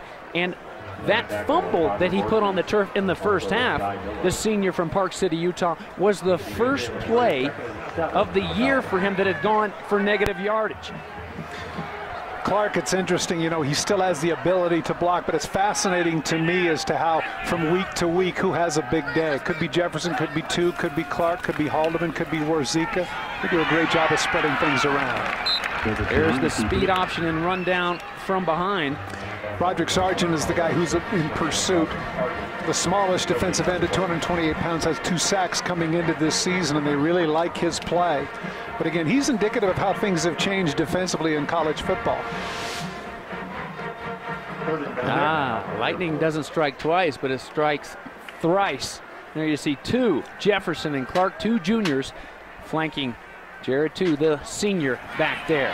Pressure was on and able to get rid of it as he was popped. Tim Jefferson, but thrown a little bit too high, intended for Zach Kauth, who caught his first career touchdown in the first half. Now fourth down and about nine, we're looking at about a 43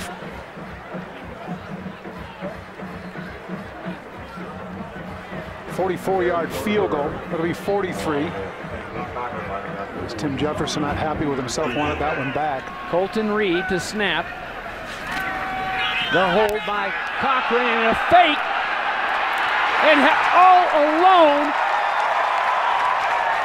25 yards out, and the Falcons just keep coming here on special teams It's Chaz Demerath, the tight end, slips out for a fake field goal touchdown. Natalie Vickers asked Steve Fairchild if he had some more tricks up his sleeve. Coming out of the halftime locker room, he said, Of course I do. Remind me if I don't use them. But somebody forgot to warn the Colorado State defense that two can play at that game. Lined up for the field goal, they fake it, and it's just too easy. Here's Soderberg's extra point try. It's good. And it's a 35 to 7 ball game.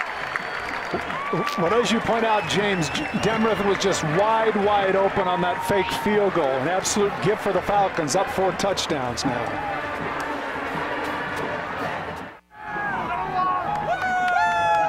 Section 8, loving the special teams here at the Air Force Academy. Here's your drive summary presented by Jeep. Most award-winning brand of 4x4s ever. Check out the entire lineup at jeep.com. And it ends on a fake field goal. Cochran, the senior, his first career touchdown pass. A third string quarterback to Chaz Demerath. And the 25 yard strike. And that was after the block punt by Wooding. Let's see if the kick cover team can follow up with great special teams play. This has been a little bit of an adventure this year, thanks in large part to this guy today. And better coverage as they corral Derek Good. Well, we talk about we talked about special teams as you pointed out, and, and uh, Wooding does a great job of getting inside and getting a piece of the ball. Now watch now watch the fake here as Cochran rolls out. Demerath is just wide, wide open there for the gimme touchdown for the Falcons. You know, sometimes, James, you're just so excited to block a kick. You just sell out. Here's Leonard Mason again. Mason, who had 13 carries for 74 yards in the first half. A nice gain on first down. Alex Means getting an opportunity to play a little bit here. Mason had a hamstring injury in August and missed most of fall camp. He's playing his way back into game shape. Will stay in block right here. Slips out late and trying to thread the needle again. And lucky that that one wasn't picked off by Brady Amack. That time intended for Pipes. Well, as you pointed out, Amack is having some problems with health. But it is a great job there, breaking on the ball, getting in front of number 11 and batting it away.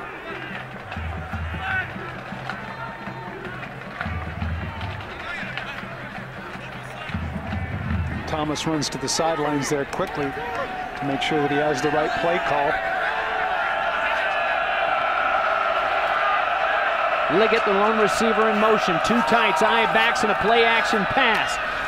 It'll be a first down as Thomas connects with Tyson Liggett, the senior. Will move the chains for the Rams. And the fact that it was third and short gave some resonance to that play action fake. Air Force had to respect that, and as a result, Liggett was able to get in between the linebackers for a first down for the Rams at the 44. Tyson's father, a baseball player at TCU. Horned Frogs beating these Rams last week in Fort Collins. Here's Leonard Mason, stretches it and gets the edge, makes the guy miss, and it's a first down as Leonard Mason goes across the 45-yard line. It's a nice block upfield there by Jake Gadowski, who comes out. What, what you're going to see, Gadowski is able to get to the outside. You're going to see number 58, and it's a nice block downfield by Greenwood as well. Gadowski leads the way. And Greenwood able to follow him for some additional yards. Excuse me, Mason.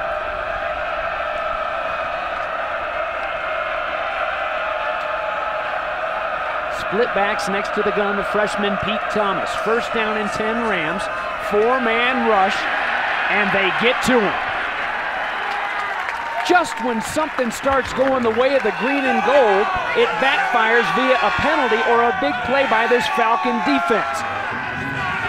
Natalie Vickers, what's going on down there? I have an update on Ryan Gardner, uh, the junior D lineman. You know, he hobbled off off the field going into the half, and he was being worked on during the half. Well, it comes back that he has a growing strain. So he is just uh, going to be taken out for the rest of, rest of the game for precautionary reasons. I have a problem saying growing. If you guys can help me, help me with that. Growing. There you go. Bradley Connor is back up, Natalie the Falcon in on the sack. That last play, the first sack of the day. There's a look at Bradley, the senior from Fayetteville, Georgia. A lot of Georgia guys on this Falcon squad. Clay Hendrix, the offensive coordinator.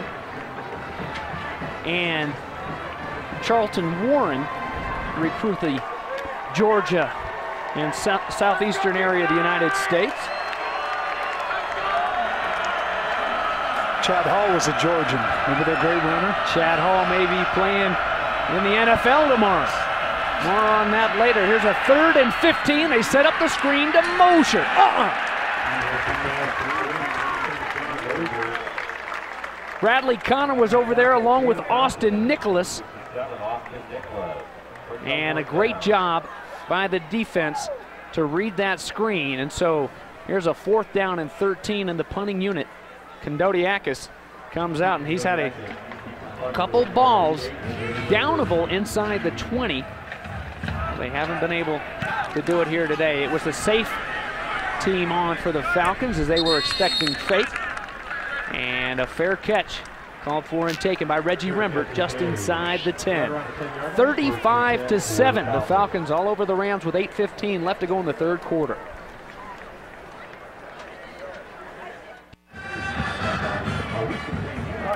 The old T-38 Thunderbird in the foreground. And in the background, Pikes Peak, the United States Air Force Academy here in Colorado Springs. And 60 degrees and clear. A beautiful afternoon. Glad you're with us along with Natalie Vickers and Todd Christensen. I'm James Bates. The Colorado State Rams looking for win number two on this season. And the Air Force Falcon. 25th ranked team in the nation and ranked in the top 25 for the first time since 2003, these Falcons. And there's Mychal Sisson. And a hurry up now for Jefferson and the Falcons. And the quick pitch to Asher Clark, who is averaging 7.6 yards a carry today. And Sisson and the Rams do a good job of running him down, but it is a third down and short for the Falcons. Talk about your contrast. Look at those numbers there, Todd. Well, certainly Colorado State's going to move up as a result of what they've been able to do today, rushing for nearly 140 yards. But yeah, first and 120th, you can't get more of a stretch than that in college football. And the Rams find a way to come up with a stop here. Handoff is to Tew, and that's not going to happen. You hear the Not boos, but twos roar through Falcon Stadium for Jared Tew, the senior from Park City, Utah. Thanks for explaining that to me. You're welcome. I just wanted you to make sure that they don't dislike Jared Tew. He's done a lot for this program. I wasn't explaining it to you. I was Oh, explaining you it to all of our 10-year-old listeners. Gotcha. Pretty much the same mentality. There's the boot. It's intercepted. A big pop and it's into the hands of Ivory Hurd. Tim Jefferson fired one in there. And a great break on the ball, and it popped right into the hands of the junior Hurd. Well, Chaz Demerath looks like he has this ball, but then he himself gets separated. That, that's, a, that, that's a pretty good lick there by Ricky Brewer, who separates him from the ball, and the ball pops up, and Hurd is able to procure that gratuity. A turnover for Colorado State now, set up in very good field position. The Falcon 30.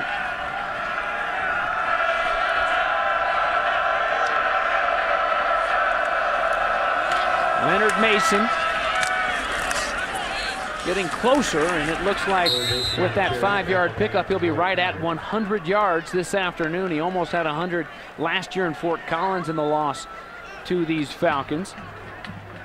And he goes over the century mark there, Leonard Mason, the senior from Rancho Cucamonga, California. Trying to do something with that turnover and interception. The big hit by Brewer and the pick by Ivory Hurd. Here's the draw to Mason. Splits the defense, lowers his head, and up to the 15-yard line. Talking about hats around the ball. Now, now, now, this is interesting right here. We know for a fact, we know for a fact that it's illegal to get help in terms of when you're running by your offensive line. But tell me this isn't your offensive line helping right here. Held up at the five-yard line, all those bodies pushing forward. Have you ever seen that called? Ever? Not unless it's down on the goal line. Not unless it's down on the goal line every now and then you'll see it called. Okay.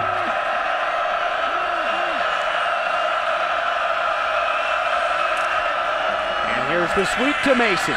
Full head of steam heading downhill on first and goal. He gets about six yards.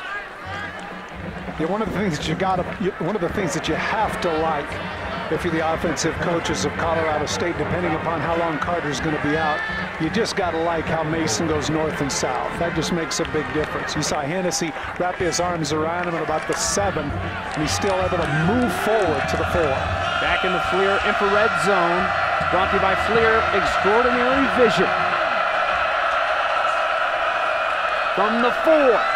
Mason, Mason, Mason, touchdown! They kept feeding number two. He goes over 100 yards and punches it into the paint for the Rams for the second time today, this offense into the end zone. Well, Capriolo and Starr once again do a great job on the outside, getting those blue shirts out of the way. Good job by that O-line for Colorado State, especially on that right side.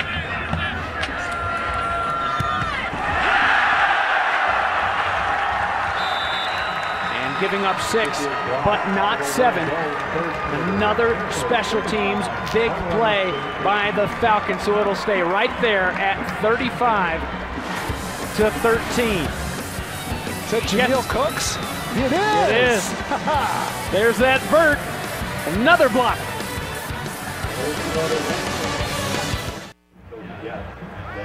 Leonard Mason having a terrific day here. 19 carries for 125 yards and that touchdown that we just saw. Follow behind his friends there in Star and Godowski. Four care. You can see the drive summary presented by Jeep. A minute and 48. 30 yards courtesy of the interception by Ivory Hurd.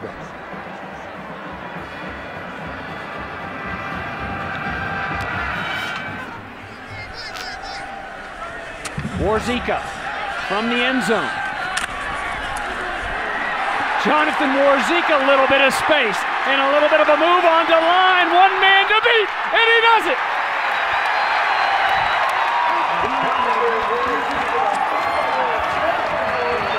the second career kickoff return for a touchdown. The junior, Jonathan Warzeka, answering the Ram touchdown on the last drive.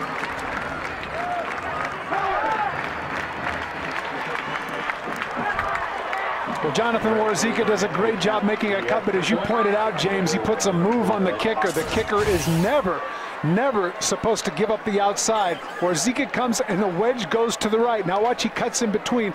The line's going to come over and he's going to give up the outside, and that's where Warzeka is able to cut back, get to the outside, flash his speed, and go the distance.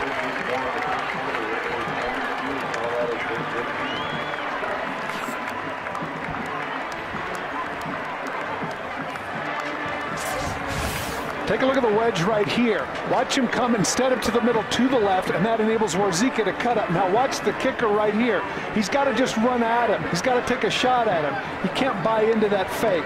As a result of buying into the fake, Warzeka is able to go the distance. Just an absolutely miserable day for the special teams of Colorado State as we see here. Jameel Cooks getting up with a serious vertical and batting down the extra point. So the Rams have now given up on special teams a 100-yard kickoff return for a touchdown. And of course, the blocked extra point. And Jameel Cooks, the special teams player of the week in the Mountain West Conference for his big plays against Navy last week. More on the Cooks family. Here's Natalie Vickers. That's right, guys. Jameel Cooks, freshman cadet. Okay, really tough life. How about his father, retired senior master sergeant in the Army? I was reading about him. He said, it's nothing being a freshman cadet compared to life at home with dad. And I'm sure dad is pretty happy of his freshman today. That's funny, isn't it? Go to the Air Force for a break? It's less rigid here. Less rigid. Here comes Derek Good, who had a 70-yard kickoff return of his own earlier, stumbling, but for a lot of yards. And Derek Good, who set up the first touchdown for the Rams with an outstanding return, finally brought down by Mikel Hunter, the speedster wide receiver, a new Remax first and 10 line. Put up there just across midfield, brought to you by Remax, the sign you want, the agent you need. That one went for 34 yards. And here comes Pete Thomas and the Rams. Tried to get a screen to Greenwood and a heads up play. I'll tell you what, Anthony Wright, Reggie Rembert, Jonathan Davis, Brian Lindsay today as well. You talk about smart football players. Had that ball been thrown, Anthony Wright picks it off and scores a touchdown. Pete Thomas doing a good job of just tucking it and getting a couple yards. I think they've got Eric Pites, the tight end, with a block in the back that they're discussing.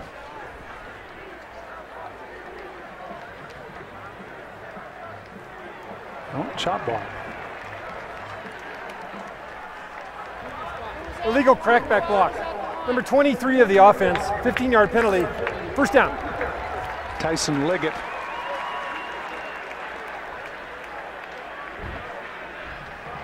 Yeah, isn't that rich?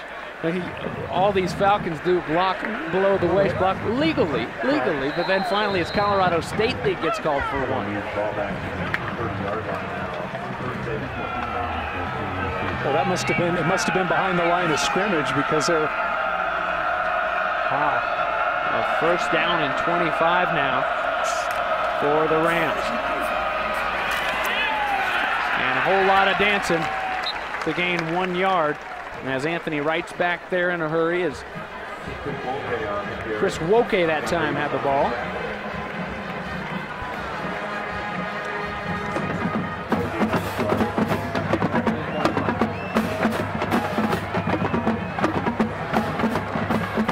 Cheers have come from that side of the field. Nwoke remains in. It's three wides. And the play action pass for Thomas. Great coverage by Davis and Wright. And again, Thomas must tuck it and get as many yards as he can on the ground. All day long. We've had an interception by Reggie Rembert, almost two picks by number eight.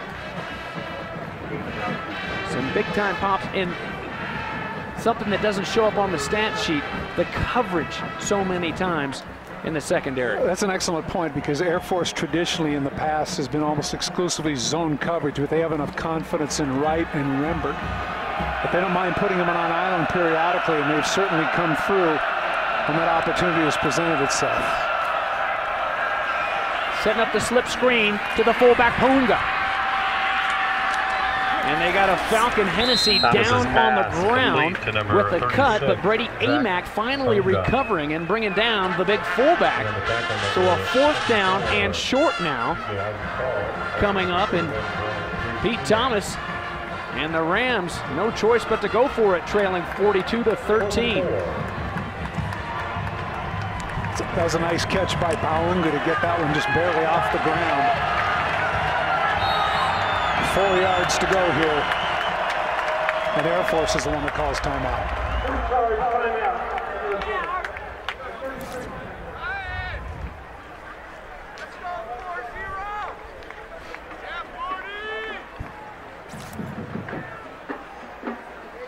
We've got a chance. How about our Domino's delivery of the game? Second touchdown of the day. Jefferson to Kauth, first of the career and Zach Kauth, The delivery of the game brought to you by Domino's, who wants everyone to try their inspired pizzas. Get two medium, two topping pizzas for just $5.99 each. And feeling it today, the Falcons on the field and up in the stands, thanks to the junior quarterback Tim Jefferson. Only six attempts, three completions, and the touchdown pass to Zach Kauth, his first career TD. It's, it's guys like Kauth, it's guys like Demerath who are filling in for Fogler, the featured receiver, when there is one in this ground and pound offense, and doing an outstanding job. And here's your fourth down. Pete Thomas tries to rifle it in there, but it's broken up by guess who?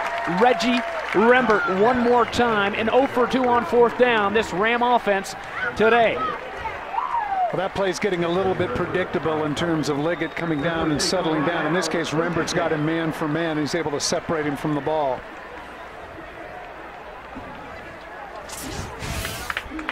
He's going to sit, going to try and sit down in the zone right here. And, th and, there you can see it right here. But again, the closing speed and the quickness is able to separate him from the ball. And the result is a giving the ball over on downs to the Falcons. An outstanding timing by Rembert, too, not to be too early and to draw the flag. Great blocks for Asher Clark, who's finally stood up by Elijah Blue Smith, but not until he gets nine yards on the carry. Once again, a great job by Jefferson setting that up. He had to pitch quickly because he has somebody in his face. Does a great job with the vision, seeing what's coming at him.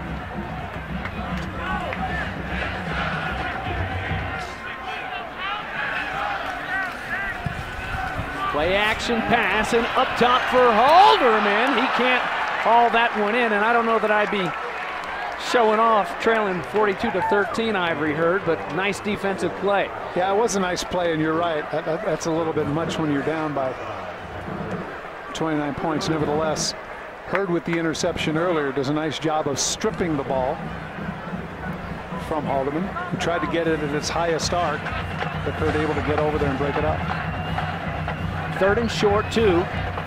Lined up behind Jefferson. There you have it. Every time Jared Tew gets the ball, he seems to fall forward for about five or six. And the chains will move. Well, the last time these Falcons were in the top 25, you had to go way back to 2003. Chance Harridge was the quarterback. And it only lasted for one week because the following week they would travel to Navy and lose. And actually, the last three times the Falcons have been in the top 25, they've lost quickly. Speaking of quickly, to the ground, here comes Cody Getz, and he gets a first down. Once again, great blocking downfield where Zeke is able to shield his man off.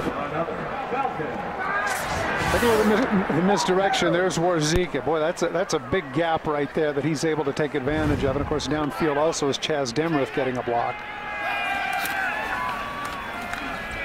The fake to Getz. And ho, ho, ho, Tim Jefferson hooking up with Kauth for the second time today, throwing it across his body and lacing it in there. What an amazing throw for 19 yards and the touchdown. You know, if you're D'Angelo Wilkinson, you had to think to yourself, I thought I had a pick. Watch this go through the hands of number two. Look at that. He goes up, doesn't quite get high enough. That's tremendous concentration on the part of Kauth. As the ball goes through the fingers of Wilkinson, he's able to concentrate on the ball and come up with it.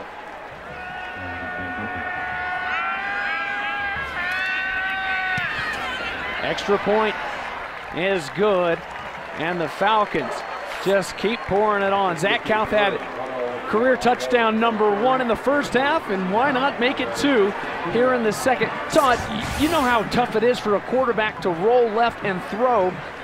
Never a plant foot, but still he drills it in there. And the concentration for a receiver after it goes through the hands of D'Angelo Wilkinson, exceptional as well.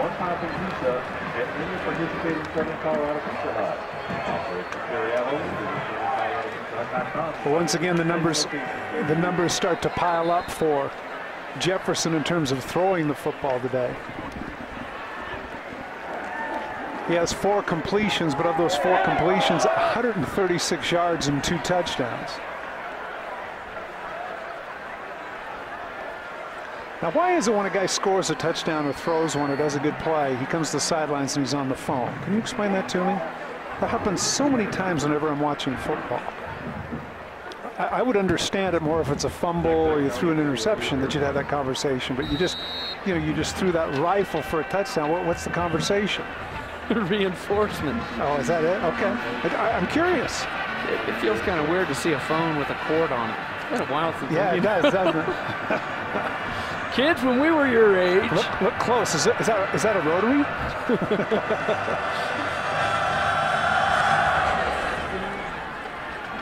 Again, they cook it in the direct direction of Good. Here comes Derek Good. Derek Good has played hard, returning kicks. So 49. You know this. This is the Air Force Academy oh, after oh, all, but that doesn't mean you can do half push-ups. Wait a minute. Come on, that's bogus, man.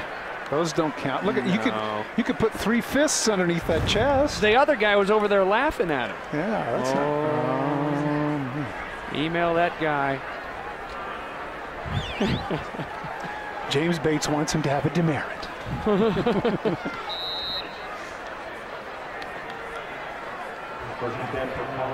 I actually one of the uh, had to do justice now. Here's Pete Thomas. 52 seconds remaining in the third quarter. And he hooks up with Nwoke. I uh, one of the kids on on my daughter's swim team. I uh, I bet him 50 push-ups on the Florida Alabama game, and needless to say, I had to do 50 push-ups the other day. So full extension. Uh, United work work with those cadets on. How, many, how many sets did it take you to get 50? I did them all. Oh, okay. Just checking. I told you when I was in high school, I tried out for that American Gladiators that you used to host, and you had to do 50 fingertip push-ups. Ooh. I didn't get past that stage. Here's second down and long, and it's the jailbreak screen for Lou Greenwood. Greenwood up near the first down sticks will be stopped just shy, though. About a yard shy as that will do it for three quarters of play. The last three times the Falcons were in the top 25, it was one and done. And not this time around, my brother. 49 to 13 as we head into the fourth. And the Falcons haven't given up a point in the fourth quarter all year.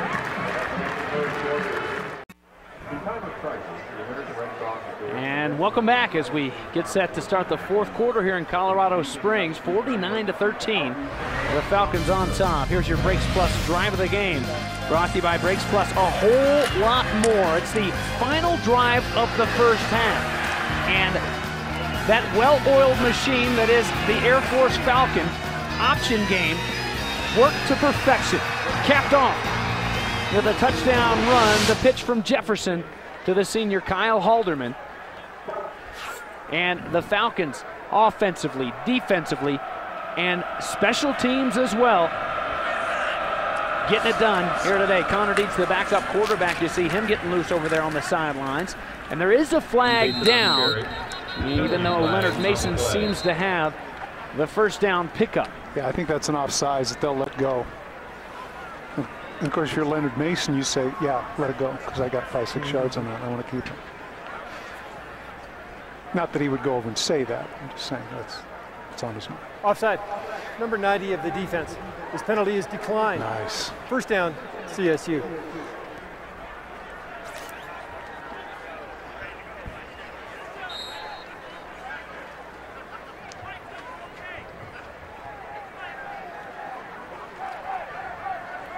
Rams dropped their Mountain West Conference opener at home last week in a 27 0 loss to the TCU Horned Frogs, the number five team in the nation in both polls.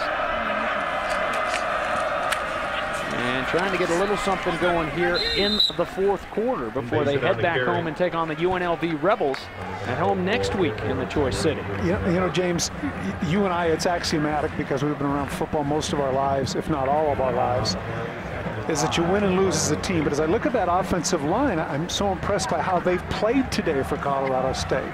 They've done a decent job protecting Thomas. Obviously, they've been running the ball effectively.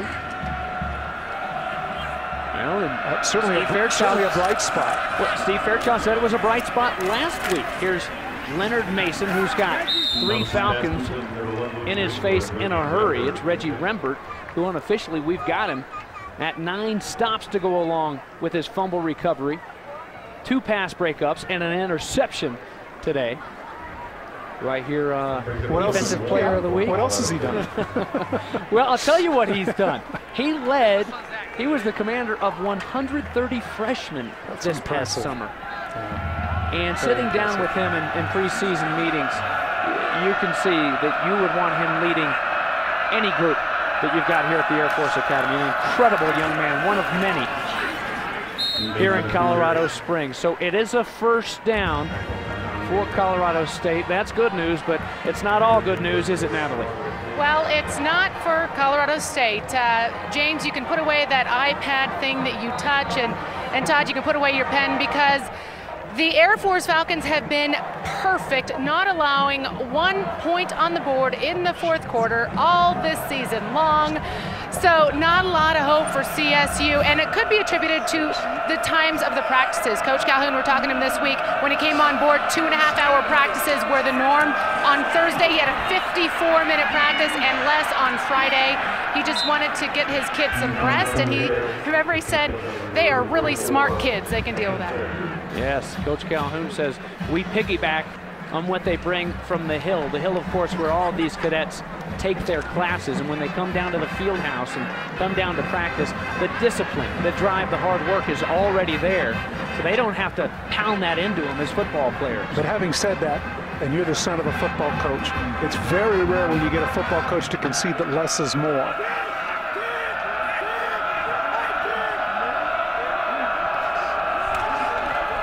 Here's another reverse. Greenwood scored on it earlier. This will be a big pickup. And inside the infrared red zone, extraordinary vision by Greenwood and by FLIR. Well, that's very impressive, that fourth quarter defense throughout the season. And of course, the big deal is right here. that Natalie pointed out. Goose Egg City, nil, nada, niet. Or, or, or nothing, if you prefer.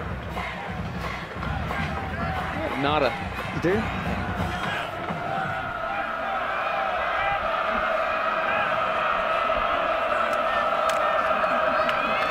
There's Mosier. Ponga with the big lead block. 36 clearing the way for John Mosier. And a little bit slow there, Brian Lindsay. Well, this is what happens when you're not getting many carries. John Mosier gets to the outside. James, am I going to run out of bounds? I don't think so. Bam! Puts a, puts a big lick on Brian Lindsay, and Lindsay took the worst of that, obviously. The way he's holding that shoulder, probably a stinger, and he couldn't make it over to the sidelines. Your neck becomes so vulnerable when you when you stretch that head out to put it on somebody. And Lindsey, who's had a big day, just a sophomore playing alongside John Davis at the safety spot. But, I, but I'm thinking, James, that if that's Mason, you know, who's had 20 carries, you know, maybe you slide out of bounds, and that was only the third carry for Mosier, so he says, heck no, I got plenty of juice.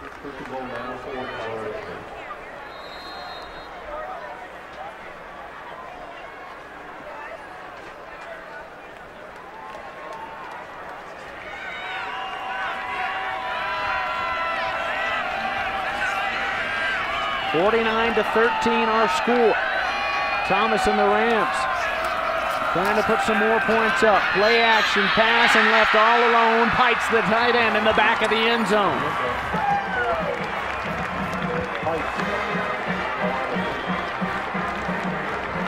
I can tell you, first points.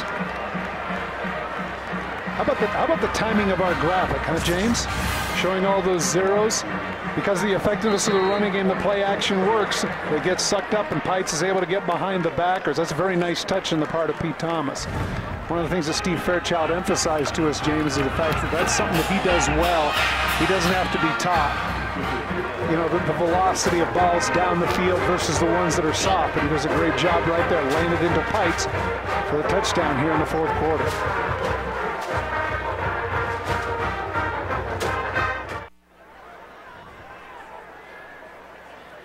Now, a round of applause for Ben Kapaka, a special teams player, helped over to the sidelines. 49 to 20 as we welcome you back and take a look at today's air stats brought to you by Lockheed Martin. We never forget who we're working for.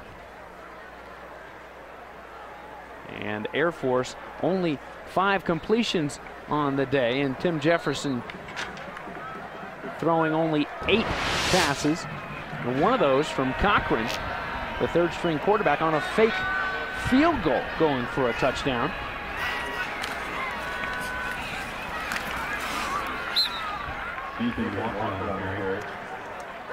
And James, primarily now for Air Force, they have their second unit in. As you mentioned, they had Dietz, but quick look at the offensive line and some of the backs.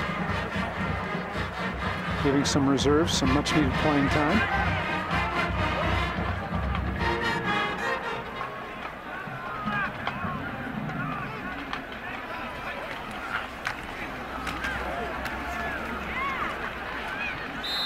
Now as I say that, Jefferson comes back in the game.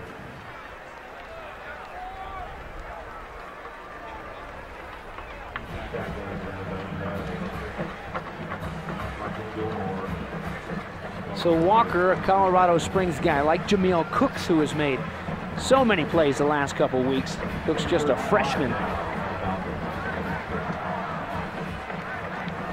Cooks was one of many great you hear of all the, the great quarterbacks in high school that come to the academy and get switched around to where they play when they hit the field. What you don't know about is, is all the great hoops players. A lot of great basketballers in high school. Like Anthony Wright, Jameel Cooks playing. Prior to the snap, false start. Number 75 of the offense. Five yard penalty, third down. Now, speaking of Jameel Cooks, leading that special teams charge.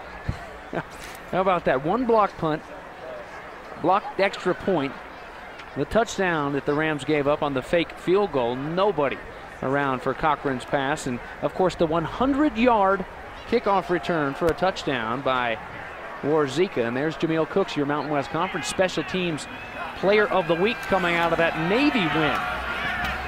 And to the air goes Jefferson. And there's Halderman, Kyle Halderman, wiggling around and up near midfield.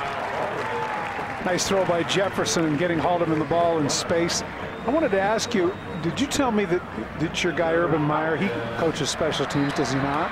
He does, he does. I, I asked that because I know that Frank Beamer, of course, the head coach for Virginia Tech, also coaches special teams. And I think there are a couple of head coaches that are doing that now.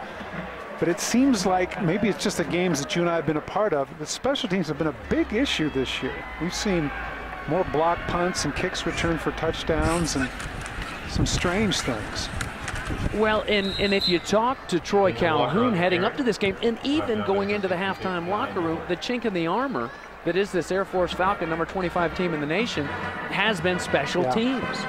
So you're absolutely right. And in New Mexico, the block punts uh, against them, the punt returns for touchdowns, and you know, you, like like you're saying, Beamer and and Urban Meyer, and it shows how important and how much these coaches realize. But it's still been pretty sloppy. It has.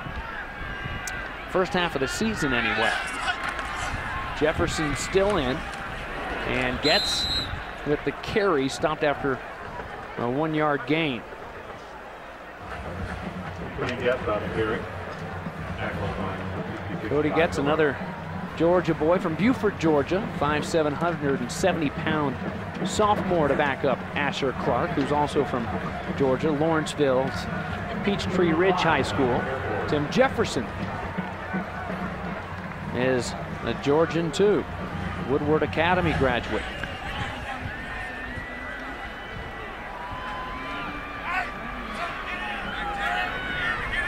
So we saw on special teams a Falcon go down on the kickoff return, and it, it's important to stay healthy coming out of this game, and Tim Jefferson still in there. And with more on the injuries, here's Natalie Vickers one more time. Thanks, guys. Yes, important to stay healthy uh, during this month, especially Ben Kopaka. We found out that he has a sprained right knee. He's on the uh, table over there still being looked at. They're moving it around, and it happened when he planted his foot. Brian Lindsay, you didn't see him walk off, but he did. It was. Uh, he, he, walked into the locker room just before that Kopaka um, uh, break there. And he has a left shoulder sprain. So they are both not going to be coming back for the game. And you know, this is uh, what Coach said this week is the toughest month of Air Force Falcon football ever coming up. So, so important with uh, that game against SDSU, TCU, Utah. Of course, they just came off Navy. And guess what? the beginning of next month, Army. And Natalie, to end September, guess where they were? Wyoming. Nothing Laramie in a very tough one. 20 to 14 win against the Pokes. Austyn Carta-Samuels hurt in the win at Toledo. So won't start today in Cowtown. Actually won't play for Dave Christensen's bunch. On third down, they go the wrong way, trying to get up to that Remax first and 10 line. Remember, Remax, the sign you want, the agent you need. Good penetration on the part of C.J. James, the defensive end. And, and don't forget, folks, even though the Jefferson's staying in the game, he could still be punting. But they changed their mind, and they'll go with their regular punter, Keel Bartholomew.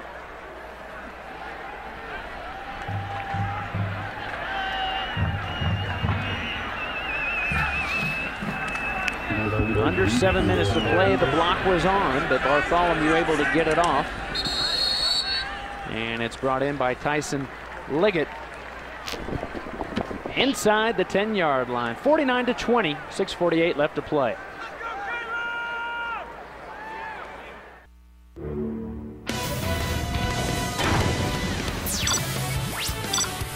College Football on the Mountain is brought to you by Dodge. Live life to the fullest. Dodge Grab Life. By Jeep, the most award-winning brand of 4x4s ever. Check out the entire lineup at Jeep.com. And by Lockheed Martin. We never forget who we're working for. Well, the helmet on your right, a lot more important than the one on the left. The one on the left playing some good football, and the one on the left has a mouthpiece and an oxygen tube.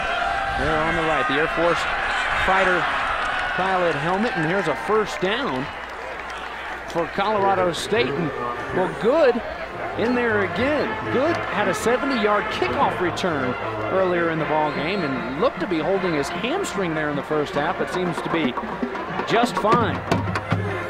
Glad to have you with us this afternoon here in Colorado Springs as the clouds roll in. Along with Todd Christensen and Natalie Vickers, I'm James Bates. Got BYU and San Diego State coming up later today on the mountain. Should be a very interesting matchup. Bronco Mendenhall's guys trying to turn this thing around. One and four right now, and Brady Hoke's San Diego State Aztecs. Well, that's got to be frustrating because you know what? Good's having a terrific day. You know, he's auditioning for some playing time right here, James. Hopefully he can get back on the field.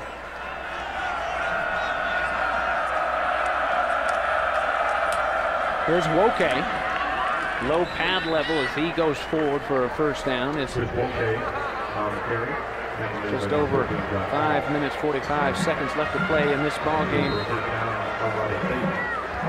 Number of reserves on the field now for the Air Force defense.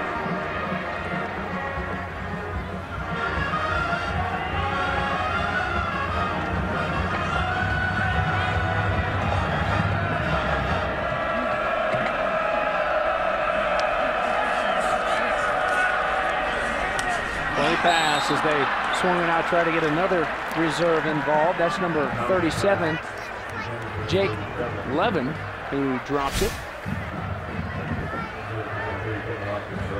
Well, Colorado State doing some damage on the ground without Raymond Carter. They're starting tailback sidelined for a couple weeks with the knee sprain. But unable to stop the Air Force Falcon high-powered offense. And too many turnovers and special teams blunders to stay in this one. Pete Thomas again, good timing route is hitting his receiver there in the window. And that's Yim, Matt Yim, the junior from Fort Collins with the reception. Yeah, those numbers can get to be deceptive there at the end when you start to add those up. 266 yards rushing. Absolutely, Steve Fairchild would have taken that coming into this game. And look at that, even in first downs.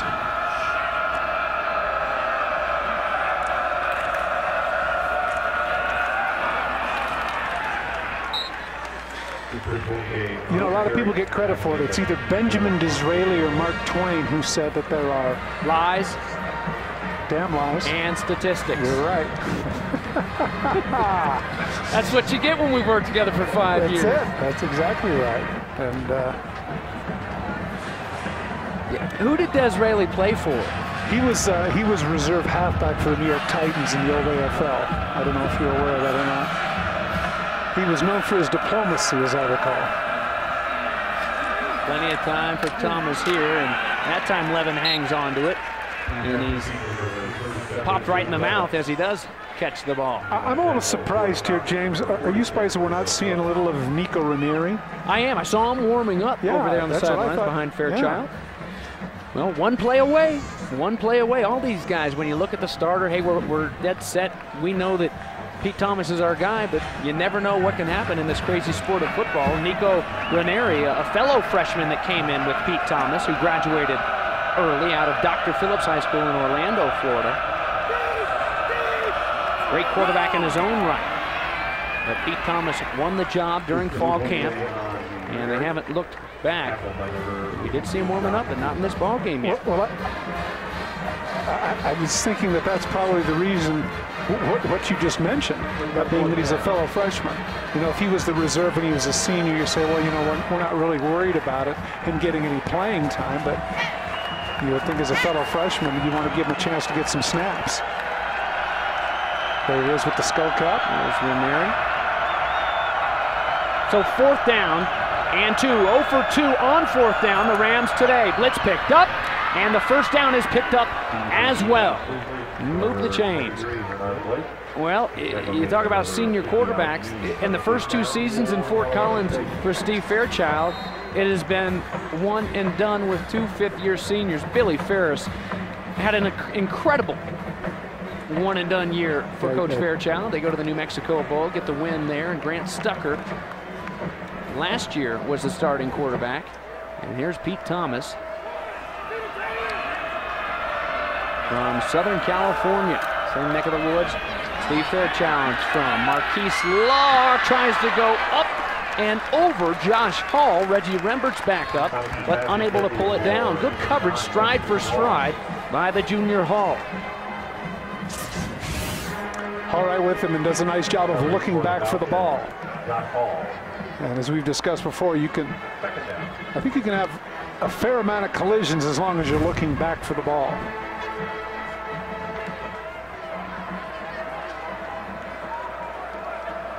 Draw to Nwoke. Check that. There was good back in there, and you can't you can't get rid of him. Twice we've seen him limp off, and Derek Good just wants to be a part of this ball game. And when given an opportunity, he's flashed. That's for sure.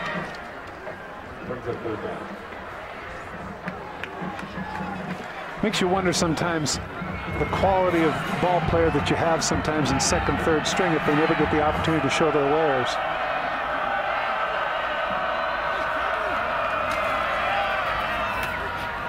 There's a swing pass to Yem, run out of bounds. It'll be another fourth down coming up.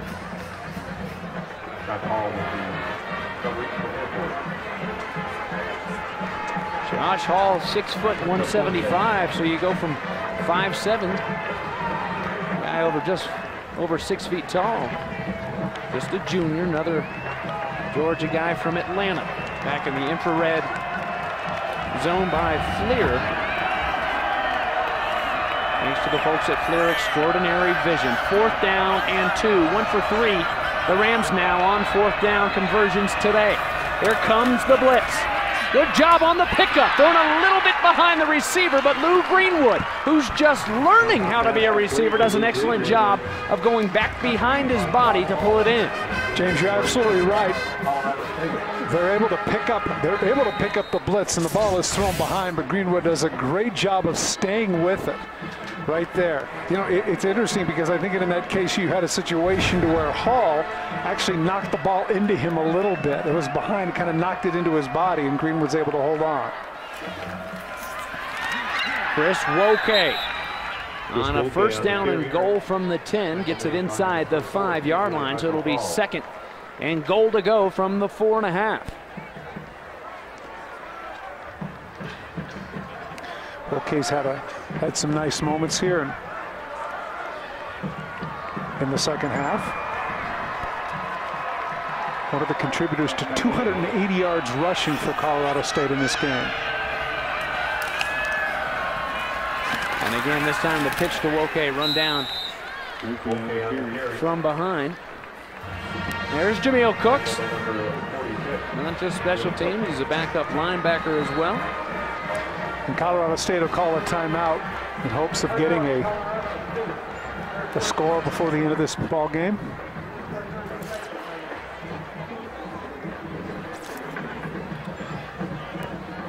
So 15 play drive offensively in the second half for Colorado State. They put together some decent drives, a 14 play scoring drive the last time out. There you see the West Virginia Mountaineers all over Bobby Hauck's UNLV Rebels. Rebels will take a trip to Fort Collins next week. And not giving up any points, TCU to Wyoming. They didn't give up a point in Fort Collins to these Rams last week. We mentioned earlier our next game on the mountain, BYU hosting San Diego State.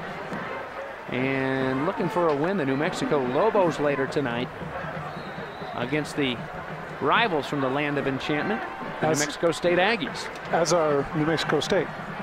Both teams are looking for their initial Right. win of the season.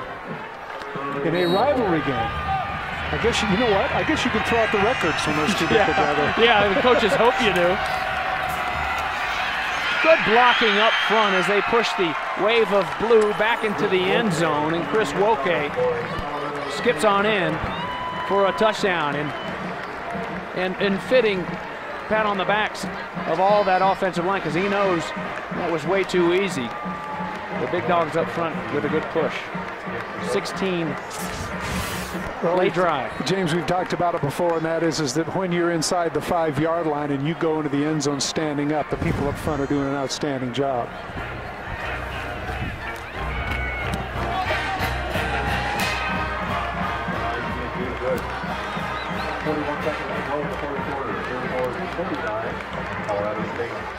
And Nwoke's a happy man. Take a look at the distance of that. You're talking about putting together a great drive, James. Look at that. 92 yards over six minutes. But again, that deception of numbers.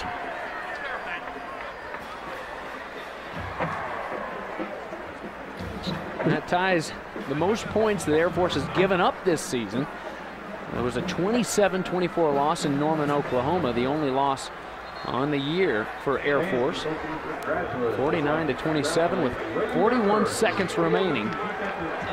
Here for Troy Calhoun's bunch, and he's still coaching them up over there on the Air Force sidelines. Yeah, in some cases, as you look at him, you wonder if his is the winning or losing team. He's still, still quite serious, and I was surprised at halftime how angry he was when he was visiting with our Natalie Vickers regarding some of the errors that they were making. But on the other end, you've got Steve Fairchild doing the same thing, coaching up his young quarterback, giving him some some perspective. Because number four is the future. Troy Calhoun doesn't like what he sees out there on his hands team, so he calls timeout. Well, that timeout will give us a chance to acknowledge our Stihl man of the game. It could have gone to the special teams or Reggie Rembert, but Asher Clark goes over 100 yards again on pace to go over a thousand on the season. The man of the game brought to you by Stihl. To find a full line of dependable Stihl outdoor power equipment, see your local servicing Stihl dealer or visit stihldealers.com. A peach of a day for the Georgia guy, Asher Clark, number 17 on this Falcon offense, the tailback. Gained some muscle and some speed in the offseason. You know, it's interesting how you know, you watch boxing matches and people are supposed to be the same weight. According, according to this right here, he and Reggie Rembert are the same size exactly. Those are two different bodies, yeah. though. Well, it was a hard kick that they tried to bounce off somebody in that front line, but it made it through the first two waves of Falcons, and Drew Coleman there to pick it up.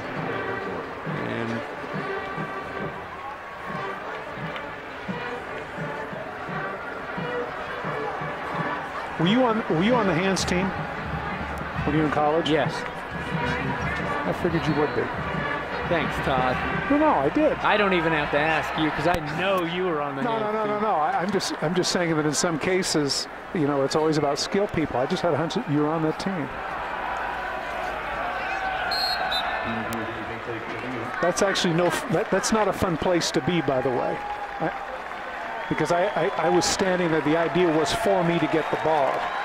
And I mean, bodies are flying everywhere. They're really going after you. That first guy is, is taught not to go after the ball, but to take your take head off. Right, right. Well, Troy Calhoun, Steve Fairchild will shake hands. Larry Kerr as well at the middle of the field. And that'll do it. 49 to 27, the Air Force Falcons. They kind of like this top 25 spot, and they think they'll stay here for a while. Specialized statistical information provided by Stats this afternoon. And we're just getting warmed up. Not just on the grill, but on the mountain. Doubleheader continues at 4 o'clock as San Diego State travels to Provo to take on the BYU Cougars.